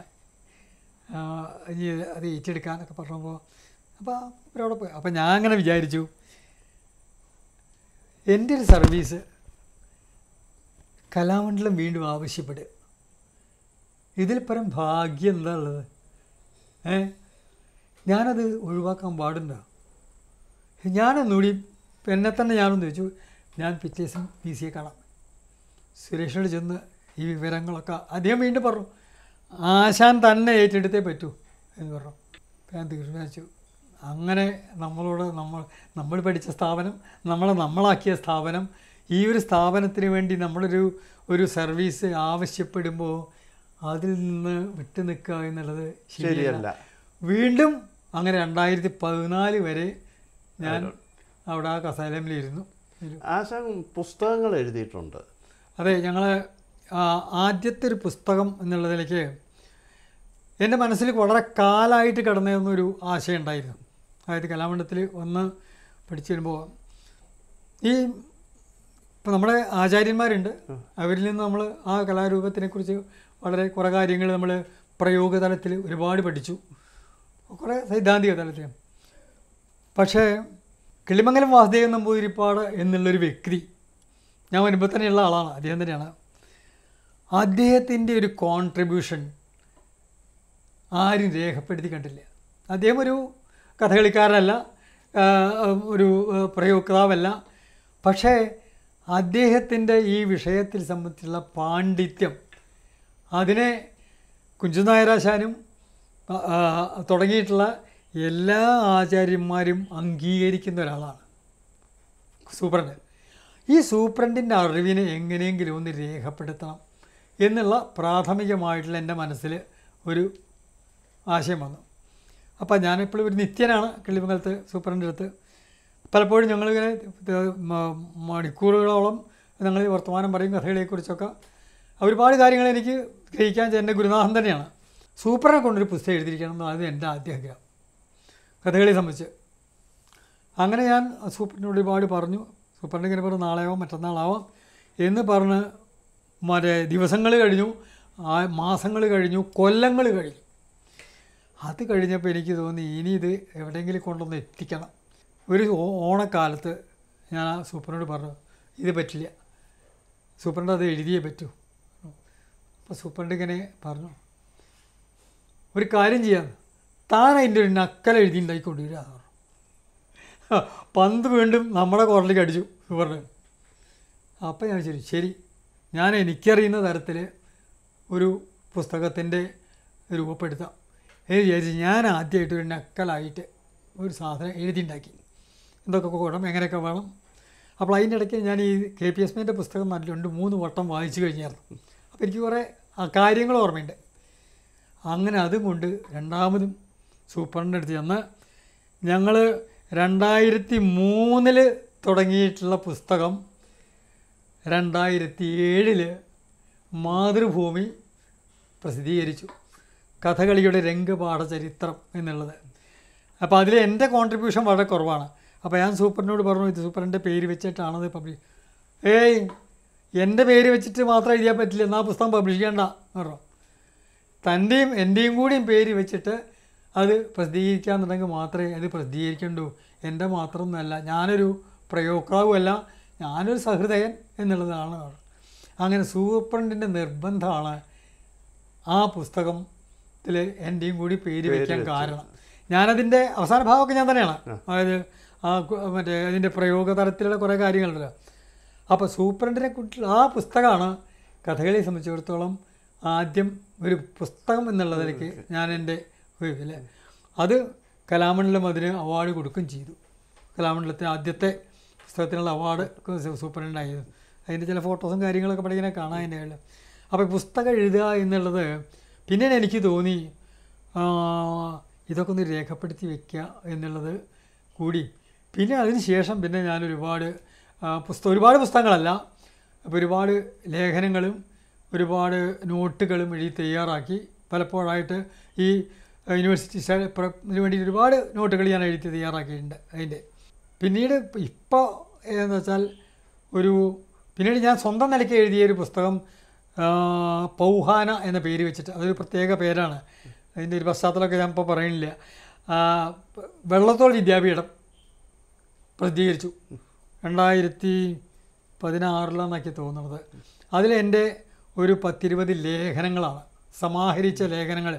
പലപ്പോഴായിട്ട് ഞാൻ എന്റെ പ്രസംഗത്തിലും എന്റെ ഞാൻ പങ്കെടുത്തിട്ടുള്ള സെമിനാറുകൾ അങ്ങനെ തുടങ്ങിയിട്ടുള്ള പിന്നെ ഭാഷാപോഷണിൽ ഞാൻ കുറേ ലേഖനങ്ങൾ എഴുതിയായിരുന്നു. അന്ന് ഈ അതിന് ഒരു പ്രത്യേക ഭാഷാഭോഷി പ്രത്യേകിച്ചെങ്കിൽ ഇവിടെ നളചരിതം പഠിപ്പിക്കാൻ തുടങ്ങിയാൽ രണ്ടായിരത്തി പന്ത്രണ്ടിൽ. അതും ഒരു നിമിത്താട്ടോ. അതും എന്നെ സംബന്ധിച്ചോളം എനിക്കൊരു ഒരു എന്റെ ഒരു ചെറിയൊരു കയ്യ് അയക്കപ്പെടട്ടെ കാരണം സു ഗോപേശൻ തന്നെ പറയും. ഗോപേശന്റെ പുസ്തകത്തിൽ തന്നെ അത് ആശം തന്നെ രേഖപ്പെടുത്തിയിട്ടുണ്ട്. എം പി എസ് പറഞ്ഞതിനെ കൊണ്ടാണ് ഇതിങ്ങനെ പുസ്തകം അല്ലെങ്കിൽ ഇങ്ങനെ അവിടെ ചൊല്ലിയടിക്കാൻ സാധിച്ചത് എന്ന് പറഞ്ഞാൽ അപ്പോൾ ആ ഒരു നളചരിതത്തിനെ കുറിച്ചുള്ള ഗോപേശാനെ കുറിച്ചുള്ള ഗോപേശാന്റെ കളരി കളരി സൂചിച്ചുള്ള കുറേ ലേഖനങ്ങൾ അങ്ങനെ കുറേ വേറൊരു പുസ്തകം കൂടി എഴുതി. ഇപ്പം മൂന്നാമത്തെ ഒരു നാലാമത്തെ ഒരു പുസ്തകത്തിന്റെ പണിപ്പുരയിലാണ് ഇപ്പോൾ അതിങ്ങനെ അതിങ്ങനെ ഇപ്പം എന്താ വെച്ചാൽ നമുക്കിങ്ങനെ ഇപ്പം ഈ ഒരു സൗകര്യം അറിയും ഇപ്പോൾ എഴുതാൻ. ഇപ്പം ഈ ടാബില്ലേ പുതിയ അപ്പോൾ ഈ പുതിയ സാങ്കേതിക വിദ്യ എങ്ങനെ നമുക്ക് ഉൾപ്പെടുത്താം എന്നുള്ളത് ഇപ്പം എനിക്ക് വലിയൊരു ഒരു ഒരു സൗകര്യമായി. ഗുണമാണ്. കാരണം ടാബിൽ ഞാൻ ഡ്രാഫ്റ്റിൽ എഴുതും. ഡ്രാഫ്റ്റ് എടുത്തിട്ട് അതിലെഴുതും. അപ്പോൾ നമുക്ക് എങ്ങനെ വേണമെന്നുണ്ടെങ്കിൽ നമുക്ക് വാചകങ്ങൾ മാറ്റി ഈ ഭാഗമല്ല അവിടെയാണ് വേണ്ടത് അവിടെ അവിടെയാണ് വേണ്ടത്. ഇങ്ങനെ തുടങ്ങിയിട്ട് അതിന്റെ ഒരു സൗകര്യം ഉണ്ടല്ലോ അപ്പോൾ ഇപ്പോൾ അതാ അപ്പോൾ ഇന്നിപ്പോൾ എന്റെ ഒരു അടുത്ത കാലത്ത് കുറേ ഫേസ്ബുക്കിൽ ഞാൻ കുറേ എഴുതിയില്ലേ. അതിൽ അല്ല അപ്പോൾ എഴുത്തും അതൊക്കെ എന്നെ സംബന്ധിച്ചിടത്തോളം ഇന്നും ഒരു ഒരു ജീവിതത്തിന്റെ ഒരു ദിനചര്യയുടെ ഭാഗമായിട്ട് തന്നെയാണ് ഞാൻ കൊണ്ടു ചേർക്കുന്നത് അതൊരു പിന്നെ ആ ആശാന് കിട്ടിയ അവാർഡുകളൊക്കെ ഏതൊക്കെയാണെന്ന് ഓർമ്മയുണ്ട്? അവാർഡുകൾ ഞാൻ ആദ്യം തന്നെ പറയട്ടെ ഈ അവാർഡുകളൊക്കെ എങ്ങനെ വെച്ചിട്ടുണ്ടെങ്കിൽ ഈ അല്ല അത് ആരെയും ഒരു ഒരു നമ്മളെ ഇത് പറയട്ടോ അരങ്ങത്ത് ധാരാളം വരിക. അതിനുള്ള സൗഭാഗ്യം ഉണ്ടാകുന്ന ആൾക്കാരെയാണ് എപ്പോഴും ശ്രദ്ധിക്കപ്പെടുക. തീർച്ചയായും അതിപ്പോൾ ആരും മറ്റേ കാര്യമില്ല കാര്യമില്ല. അപ്പോൾ ഈ അരങ്ങത്ത് ധാരാളം പകർച്ചപ്പെടാനുള്ള സൗഭാഗ്യങ്ങൾ അതിന് പല ആ, എന്താ ബ്രഹ്മ ജന്മായത്തമായിട്ടുള്ള കുറവാണല്ലോ. അപ്പോൾ അതൊക്കെ കുറേ കുറവാണ്. അത് തന്നെയായിരിക്കും പത്മാശാന് പത്മശ്രീ പോലും കിട്ടാതെ വന്ന അനുഭവം. അതാണ് അതൊക്കെയാണ്. അപ്പോൾ അതിലേക്ക് ഇല്ലാത്തത് കൊണ്ട് എനിക്ക് വലിയ അവാർഡുകളൊന്നും ആദ്യ കാലത്തൊന്നും ഞാനുണ്ടായില്ല എനിക്ക് കലാമണ്ഡലത്തിന്റെ അവാർഡാണ് ആദ്യം ഈ പുസ്തകത്തിന്റെ അവാർഡാണ് കിട്ടിയത്. ഞങ്ങൾ എഴുതിയുള്ള പുസ്തകത്തിന്റെ അത് കഴിഞ്ഞ് കലാമണ്ഡലം അവാർഡ് കിട്ടി. അതിനെ തുടർന്ന് പിന്നെ കുറച്ച് പ്രശസ്തമായിട്ടുള്ള രണ്ട് മൂന്ന് നാല് അഞ്ചാറ് അവാർഡുകൾ മറ്റേ ഉളപ്പമണ്ണ തരുന്ന ഒരു ദേവിപ്രസാദത്തിന്റെ കുഞ്ചുനായർ ട്രസ്റ്റ് തരുന്ന ആളുകൾ മറ്റേ ഇവരുടെ ക്ലബ്ബുകളുടെ ചില അങ്ങനെ തുടങ്ങിയിട്ടുള്ള കുറച്ച് അവാർഡുകൾ പിന്നെ ഏറ്റവും അവസാനമായിട്ട് എനിക്ക് കിട്ടിയിട്ടുള്ള ഏറ്റവും വലിയ അവാർഡ് പിന്നെ പിന്നെ പഠിക്കാണ്ട് രാവണി മേനോശാനെ കുറിച്ചുള്ള അവാർഡുകൾ സദനത്തിന്റെയും കിട്ടി കലാമണ്ഡലത്തിന്റെയും കിട്ടി. പിന്നെ പ്രസിഡൻഷ്യൽ അവാർഡ് രണ്ടായിരത്തി പതിനാല് കേന്ദ്ര സംഗീത അക്കാദമിയുടെ അവാർഡ്. ഇതൊക്കെ അവാർഡുകളൊക്കെയാണ്. ഞങ്ങളുടെ അവരെയൊക്കെ അതൊക്കെ ഞാൻ ഈ നമ്മുടെ അന്യം ഗുരുകടാക്ഷാൽ എന്ന് നമ്മൾ കുചേലവൃത്തത്തിൽ പലപ്പോഴുമായിട്ട് അരങ്ങത്ത് ആടാറുണ്ടല്ലോ. ആ ഗുരുകടാക്ഷം കൊണ്ട് മാത്രമാണ് നമ്മൾക്ക് ഇത്രയ്ക്ക് എത്താൻ സാധിച്ചതെന്നുള്ളത് ഒരു ആലങ്കാരികമായിട്ട് പറയല്ല ആത്മാർത്ഥമായിട്ട് എന്റെ അനുഭവം കൂടിയാണ്. അത് എന്നെ പലപ്പോഴും ഇങ്ങനെ നേർവഴിക്ക്. കൊണ്ടുപോകുന്നുണ്ട്. പല സന്നിഗ്ധ ഘട്ടങ്ങളിലും ഈ വഴിയല്ല ഈ വഴിയാണ് എന്ന് തിരിച്ചു പറയുന്ന ഒരു ഇതല്ലോ. അത് ഒരു വ്യക്തിപരമായിട്ടുള്ള അനുഭവങ്ങളാണ്. അല്ലേ? അപ്പം ഞാൻ അതിൽ ഉറച്ചു നിൽക്കുകയാണ്. അപ്പോൾ അവാർഡുകളൊക്കെ അങ്ങനെയൊക്കെ വരുന്നുണ്ട്. അതൊക്കെ ഞാനത് സ്വീകരിക്കുന്നുണ്ട്. പക്ഷെ കഥകളി എന്റെ ജീവരക്കളാണ്. അത് ഞാൻ വേറൊന്ന് ചോദിക്കട്ടെ. ഈ കാലഘട്ടത്തിലൊക്കെ ആശാനെ സപ്പോർട്ട് ചെയ്തുകൊണ്ടൊരു കുടുംബം ഉണ്ടായിരുന്നു. ആശാൻ വിവാഹം കഴിച്ചത് എന്നാ എന്റെ ഞങ്ങളെ വിവാഹം ഉണ്ടായത് എഴുപത് ജൂണിലാണ്. എഴുപതിൽ. ഭാര്യയുടെ പേര്? മറ്റേ ഇവിടെ തൃശ്ശൂര് ഒരു പടിഞ്ഞാറ പടിഞ്ഞാറക്കുന്നം എന്ന് പറയും. അവർ പഴയ കാലത്ത് വലിയ പാരമ്പര്യ വൈദ്യന്മാരെ ഈ മറ്റേ കൊച്ചി രാജാവിന്റെ പാരമ്പര്യ വൈദ്യന്മാരായിരുന്നു പ്രത്യേകിച്ചും പീഡിയാട്രീഷ്യന്മാരായിരുന്നു അവർ ആയുർവേദം ആ. അപ്പോൾ കുട്ടികളുടെ ചികിത്സ. വെള്ളത്തോളിന്റെ ഭാര്യ മുത്തശ്ശിയില്ലേ. മുത്തശ്ശി പറയാറുണ്ട് ആ കുടുംബത്തിനെ കുറിച്ച്. കാരണം ഈ വാസുകേട്ടനൊക്കെ അന്ന് ഗ്രഹിണി പിടിച്ചിട്ട് ഏ അപ്പോൾ മുഴുവൻ കുന്നത്ത് മുമ്പൂരെ ചികിത്സയാന്ന് പറയും. അപ്പൊ ആ പാരമ്പര്യ കുടുംബത്തിൽ നിന്നാണ് ഞാൻ വിവാഹം കഴിച്ചത്. ലീല എന്നാണ് പേര്. എന്ത് ചെയ്യുമായിരുന്നു അത് അന്ന് ഞാൻ നിങ്ങൾ വിവാഹം കഴിക്കുമ്പോൾ ഒരു ബി എ കഴിഞ്ഞു ബി എസ് സി കഴിഞ്ഞു. കഴിഞ്ഞിരിക്കുകയാണ്. ജോലിയൊന്നും ആയിട്ടില്ല. പിന്നീടാണ് ബി എഡ് പാസ്സായതും പിന്നെ ഒരു അധ്യാപികയായിട്ടും അവസാനം വളരെ കാലം ചെറുതുരുത്തിയിൽ ഗവൺമെന്റ് സ്കൂളിൽ അധ്യാപികയായി റിട്ടയർ ചെയ്തതിലൊക്കെ ഉണ്ടായിട്ടില്ല എത്ര മക്കളാണ് മൂന്ന് ആൺകുട്ടികളാണ് എനിക്കുള്ളത് അതിൽ മൂത്താൾ ചാർട്ടേഡ് അക്കൗണ്ടന്റ് ആണ് അയാൾ ബാംഗ്ലൂരാണ്. അരുൺ എന്നാണ് അയാൾ അരുൺ പാലശ്ശേരി എന്നിട്ടാണ് ഇപ്പോൾ ധാരാളം കാണുക. കാരണം അയാൾക്ക് അത്യാവശ്യം ചില കവിത എഴുത്തും കാര്യങ്ങളൊക്കെ ഉണ്ട്. കുറേശ്ശൊക്കെ നന്നായിട്ട് മറ്റേ കഥകളിപ്പതും പാടുകയൊക്കെ ചെയ്യും. അങ്ങനെ കുറച്ചുണ്ട്. പിന്നെ ഓട്ടം തുള്ളലിന് സ്റ്റേറ്റ് നാലഞ്ച് പ്രാവശ്യം ഫസ്റ്റ് കിട്ടി ഫസ്റ്റ് കിട്ടിയിട്ടുണ്ട്. സ്കൂൾ പഠിക്കുന്ന കാലത്ത്. രണ്ടാമത്തെ ആൾ നാരായണൻ. അയാൾ സോഫ്റ്റ്വെയർ എഞ്ചിനീയറാണ് ബാംഗ്ലൂരിനെ. അയാൾ കുറച്ച് മൃദംഗം പഠിച്ചിട്ടുണ്ട്. കുറച്ച് കച്ചേരിയൊക്കെ വായിച്ചായിരുന്നു ആദ്യ കാലത്ത്. ഇപ്പം പിന്നെ അതൊക്കെ വിട്ട് മൂന്നാമത്തെ ആൾ ശങ്കർ എന്ന് പറയും. അയാളിപ്പോൾ ഞങ്ങളുടെ കൂടെ ഉണ്ട് അയാളും സോഫ്റ്റ് അയാൾ സോഫ്റ്റ്വെയറിലാണെങ്കിലും അയാൾ മറ്റേ ഒരു അക്കൗണ്ടൻസി ആ തരത്തിലുള്ള ഫീൽഡിൽ കൂടിയാണ് അയാൾ പോണത്. അപ്പോൾ അവർ മൂന്ന് പേര് ആൺമക്കളും അവരുടെ ഭാര്യമാരും അങ്ങനെ ഒരു എന്താ പറയേണ്ടത് ഒരു സംതൃപ്തമായിട്ടുള്ള ഒരു കുടുംബജീവിതത്തിന് ദൈവം എനിക്ക് ഇത്രയും കാലം എന്നെ അനുഗ്രഹിച്ചു. ഇപ്പോഴും തന്നെ എന്റെ ആ കുടുംബത്തിന്റെ കുടുംബത്തിന്റെ പശ്ചാത്തലം വലിയൊരു ഘടകമാണ്. എനിക്ക് ഇത്തരത്തിൽ പ്രവർത്തിക്കാൻ കഴിഞ്ഞതിൽ എന്റെ പിന്നിൽ. കാരണം ഒരു കുടുംബത്തിന്റെ അന്തരീക്ഷം ശരിയല്ലെങ്കിൽ നമുക്ക് സ്വാഭാവികമാണ്. നമ്മളെ പ്രത്യേകിച്ച് പറയുന്നത് ജീവിതം ആകെ താളം തെറ്റാൻ തുടങ്ങും. താളം തെറ്റാൻ മതി ഇതൊന്നുമല്ല എല്ലാ തരത്തിലുള്ള സപ്പോർട്ടും തന്നുകൊണ്ട് എല്ലാ തരത്തിലുള്ള സൗകര്യങ്ങളും തന്നുകൊണ്ട് എന്റെ താല്പര്യത്തിനനുസരിച്ച് എന്റെ കലാജീവിതം അതും ഒരു കൊണ്ട് മുന്നോട്ട് കൊണ്ടുപോകാനുള്ള എല്ലാ മറ്റേ സാഹചര്യവും ഒരുക്കി തന്ന ആ കുടുംബാംഗങ്ങളോടുള്ളൊരു നന്ദി. എനിക്ക് ഞാനതിന്റെ ഈ പുസ്തകത്തിന്റെ അവസാനം ആ അവതാരികയുടെ ഒരു ഒരു ചേർത്തിട്ടുമുണ്ട്. കാരണം ഒരു വ്യക്തി എന്നുള്ള നിലയ്ക്ക് എനിക്ക് എന്റെ സംതൃപ്ത ജീവിതം എന്ന് പറയട്ടെ. മാത്രമല്ല വലിയ ആരോഗ്യം സർവധനാൽ പ്രധാനം എന്ന് നമ്മൾ പറയാറുണ്ടല്ലോ. ദൈവം സഹിച്ച് അത്തരം ആരോഗ്യ പ്രശ്നങ്ങളൊന്നും ഈ നിമിഷം വരെ എനിക്ക് ഉണ്ടായിട്ടുമില്ല ഒരു തരത്തിൽ അങ്ങനെ ജീവിച്ചു പോണു. ഒരുപാട് ലോകത്തിലെ പല ഒരു സൗഹൃദങ്ങൾ ഉണ്ടാക്കാൻ എനിക്ക് സാധിച്ചു. ഈ രംഗത്ത് കൂടി ഞാൻ വെറും ഒരു കോളേജ് എഞ്ചിനീയറോ കോൺട്രാക്ടറോ ആയി പോയിരുന്നെങ്കിൽ ഇതൊന്നും ആകുമായിരുന്നില്ല. അപ്പോൾ കഥകളിയാണ് നമ്മളെ മുന്നോട്ട് നയിച്ചത്. അതിൽ കൂടി നമ്മൾ മുന്നോട്ട് പോയി. അത് നമ്മളെ ഒരു ഘട്ടത്തിൽ ഇന്നും തന്നെ എനിക്കൊരു വിദ്യാർത്ഥിയായിട്ടിരിക്കാനാണ് എനിക്ക് ഏറ്റവും വലിയ വിളിച്ചായാൽ ഞാൻ എന്റെ മേശപ്പുറത്ത് ഇരിക്കും. ആ, ആ, പലപ്പോഴും എന്റെ മനസ്സിലിങ്ങനെ ചിന്തകളിങ്ങനെ വരുന്നത് പലപ്പോഴും നമുക്ക് എല്ലാവർക്കും അവനവന്റെ സ്വകാര്യത ഉണ്ടല്ലോ. ഏറ്റവും വലിയ സ്വകാര്യത എപ്പോഴാച്ചാൽ അപ്പോഴാണ് എന്റെ മനസ്സിൽ ചിന്തകൾ വരിക. അപ്പോൾ ഇന്ന് എനിക്കിന്ന് കാലത്ത് ഞാൻ എന്റെ ഒരു ഒരു ലേഖനത്തിന്റെ ഒരു ഭാഗം ഒന്ന് കൂട്ടിച്ചേർക്കേണ്ടതായിട്ടുള്ളത് തോന്നി. അത് എന്താ വെച്ചാൽ വിദേശികളെ പഠിപ്പിച്ചപ്പോൾ എന്താണ് അതിന്റെ കത്ത അനുഭവം എന്നുള്ളത് പലതും എഴുതിയിട്ടുണ്ട് ഞാൻ. പക്ഷേ ഒരു പ്രത്യേകിച്ച് നമ്മൾ പാശ്ചാത്യ രാജ്യങ്ങളിലെ വിദേശികളെക്കുറിച്ച് അല്ലെങ്കിൽ ഒരു- വ്യത്യസ്ത സാംസ്കാരിക പൈതൃകത്തിൽ വരുന്നവരെ പഠിപ്പിക്കുമ്പോൾ കഥകളി പോലുള്ളൊരു കലാരൂപം പഠിപ്പിക്കുമ്പോൾ നമുക്ക് ഒരുപാട് വിശദീകരണങ്ങൾ ആവ ആവശ്യപ്പെടുകയാണ്.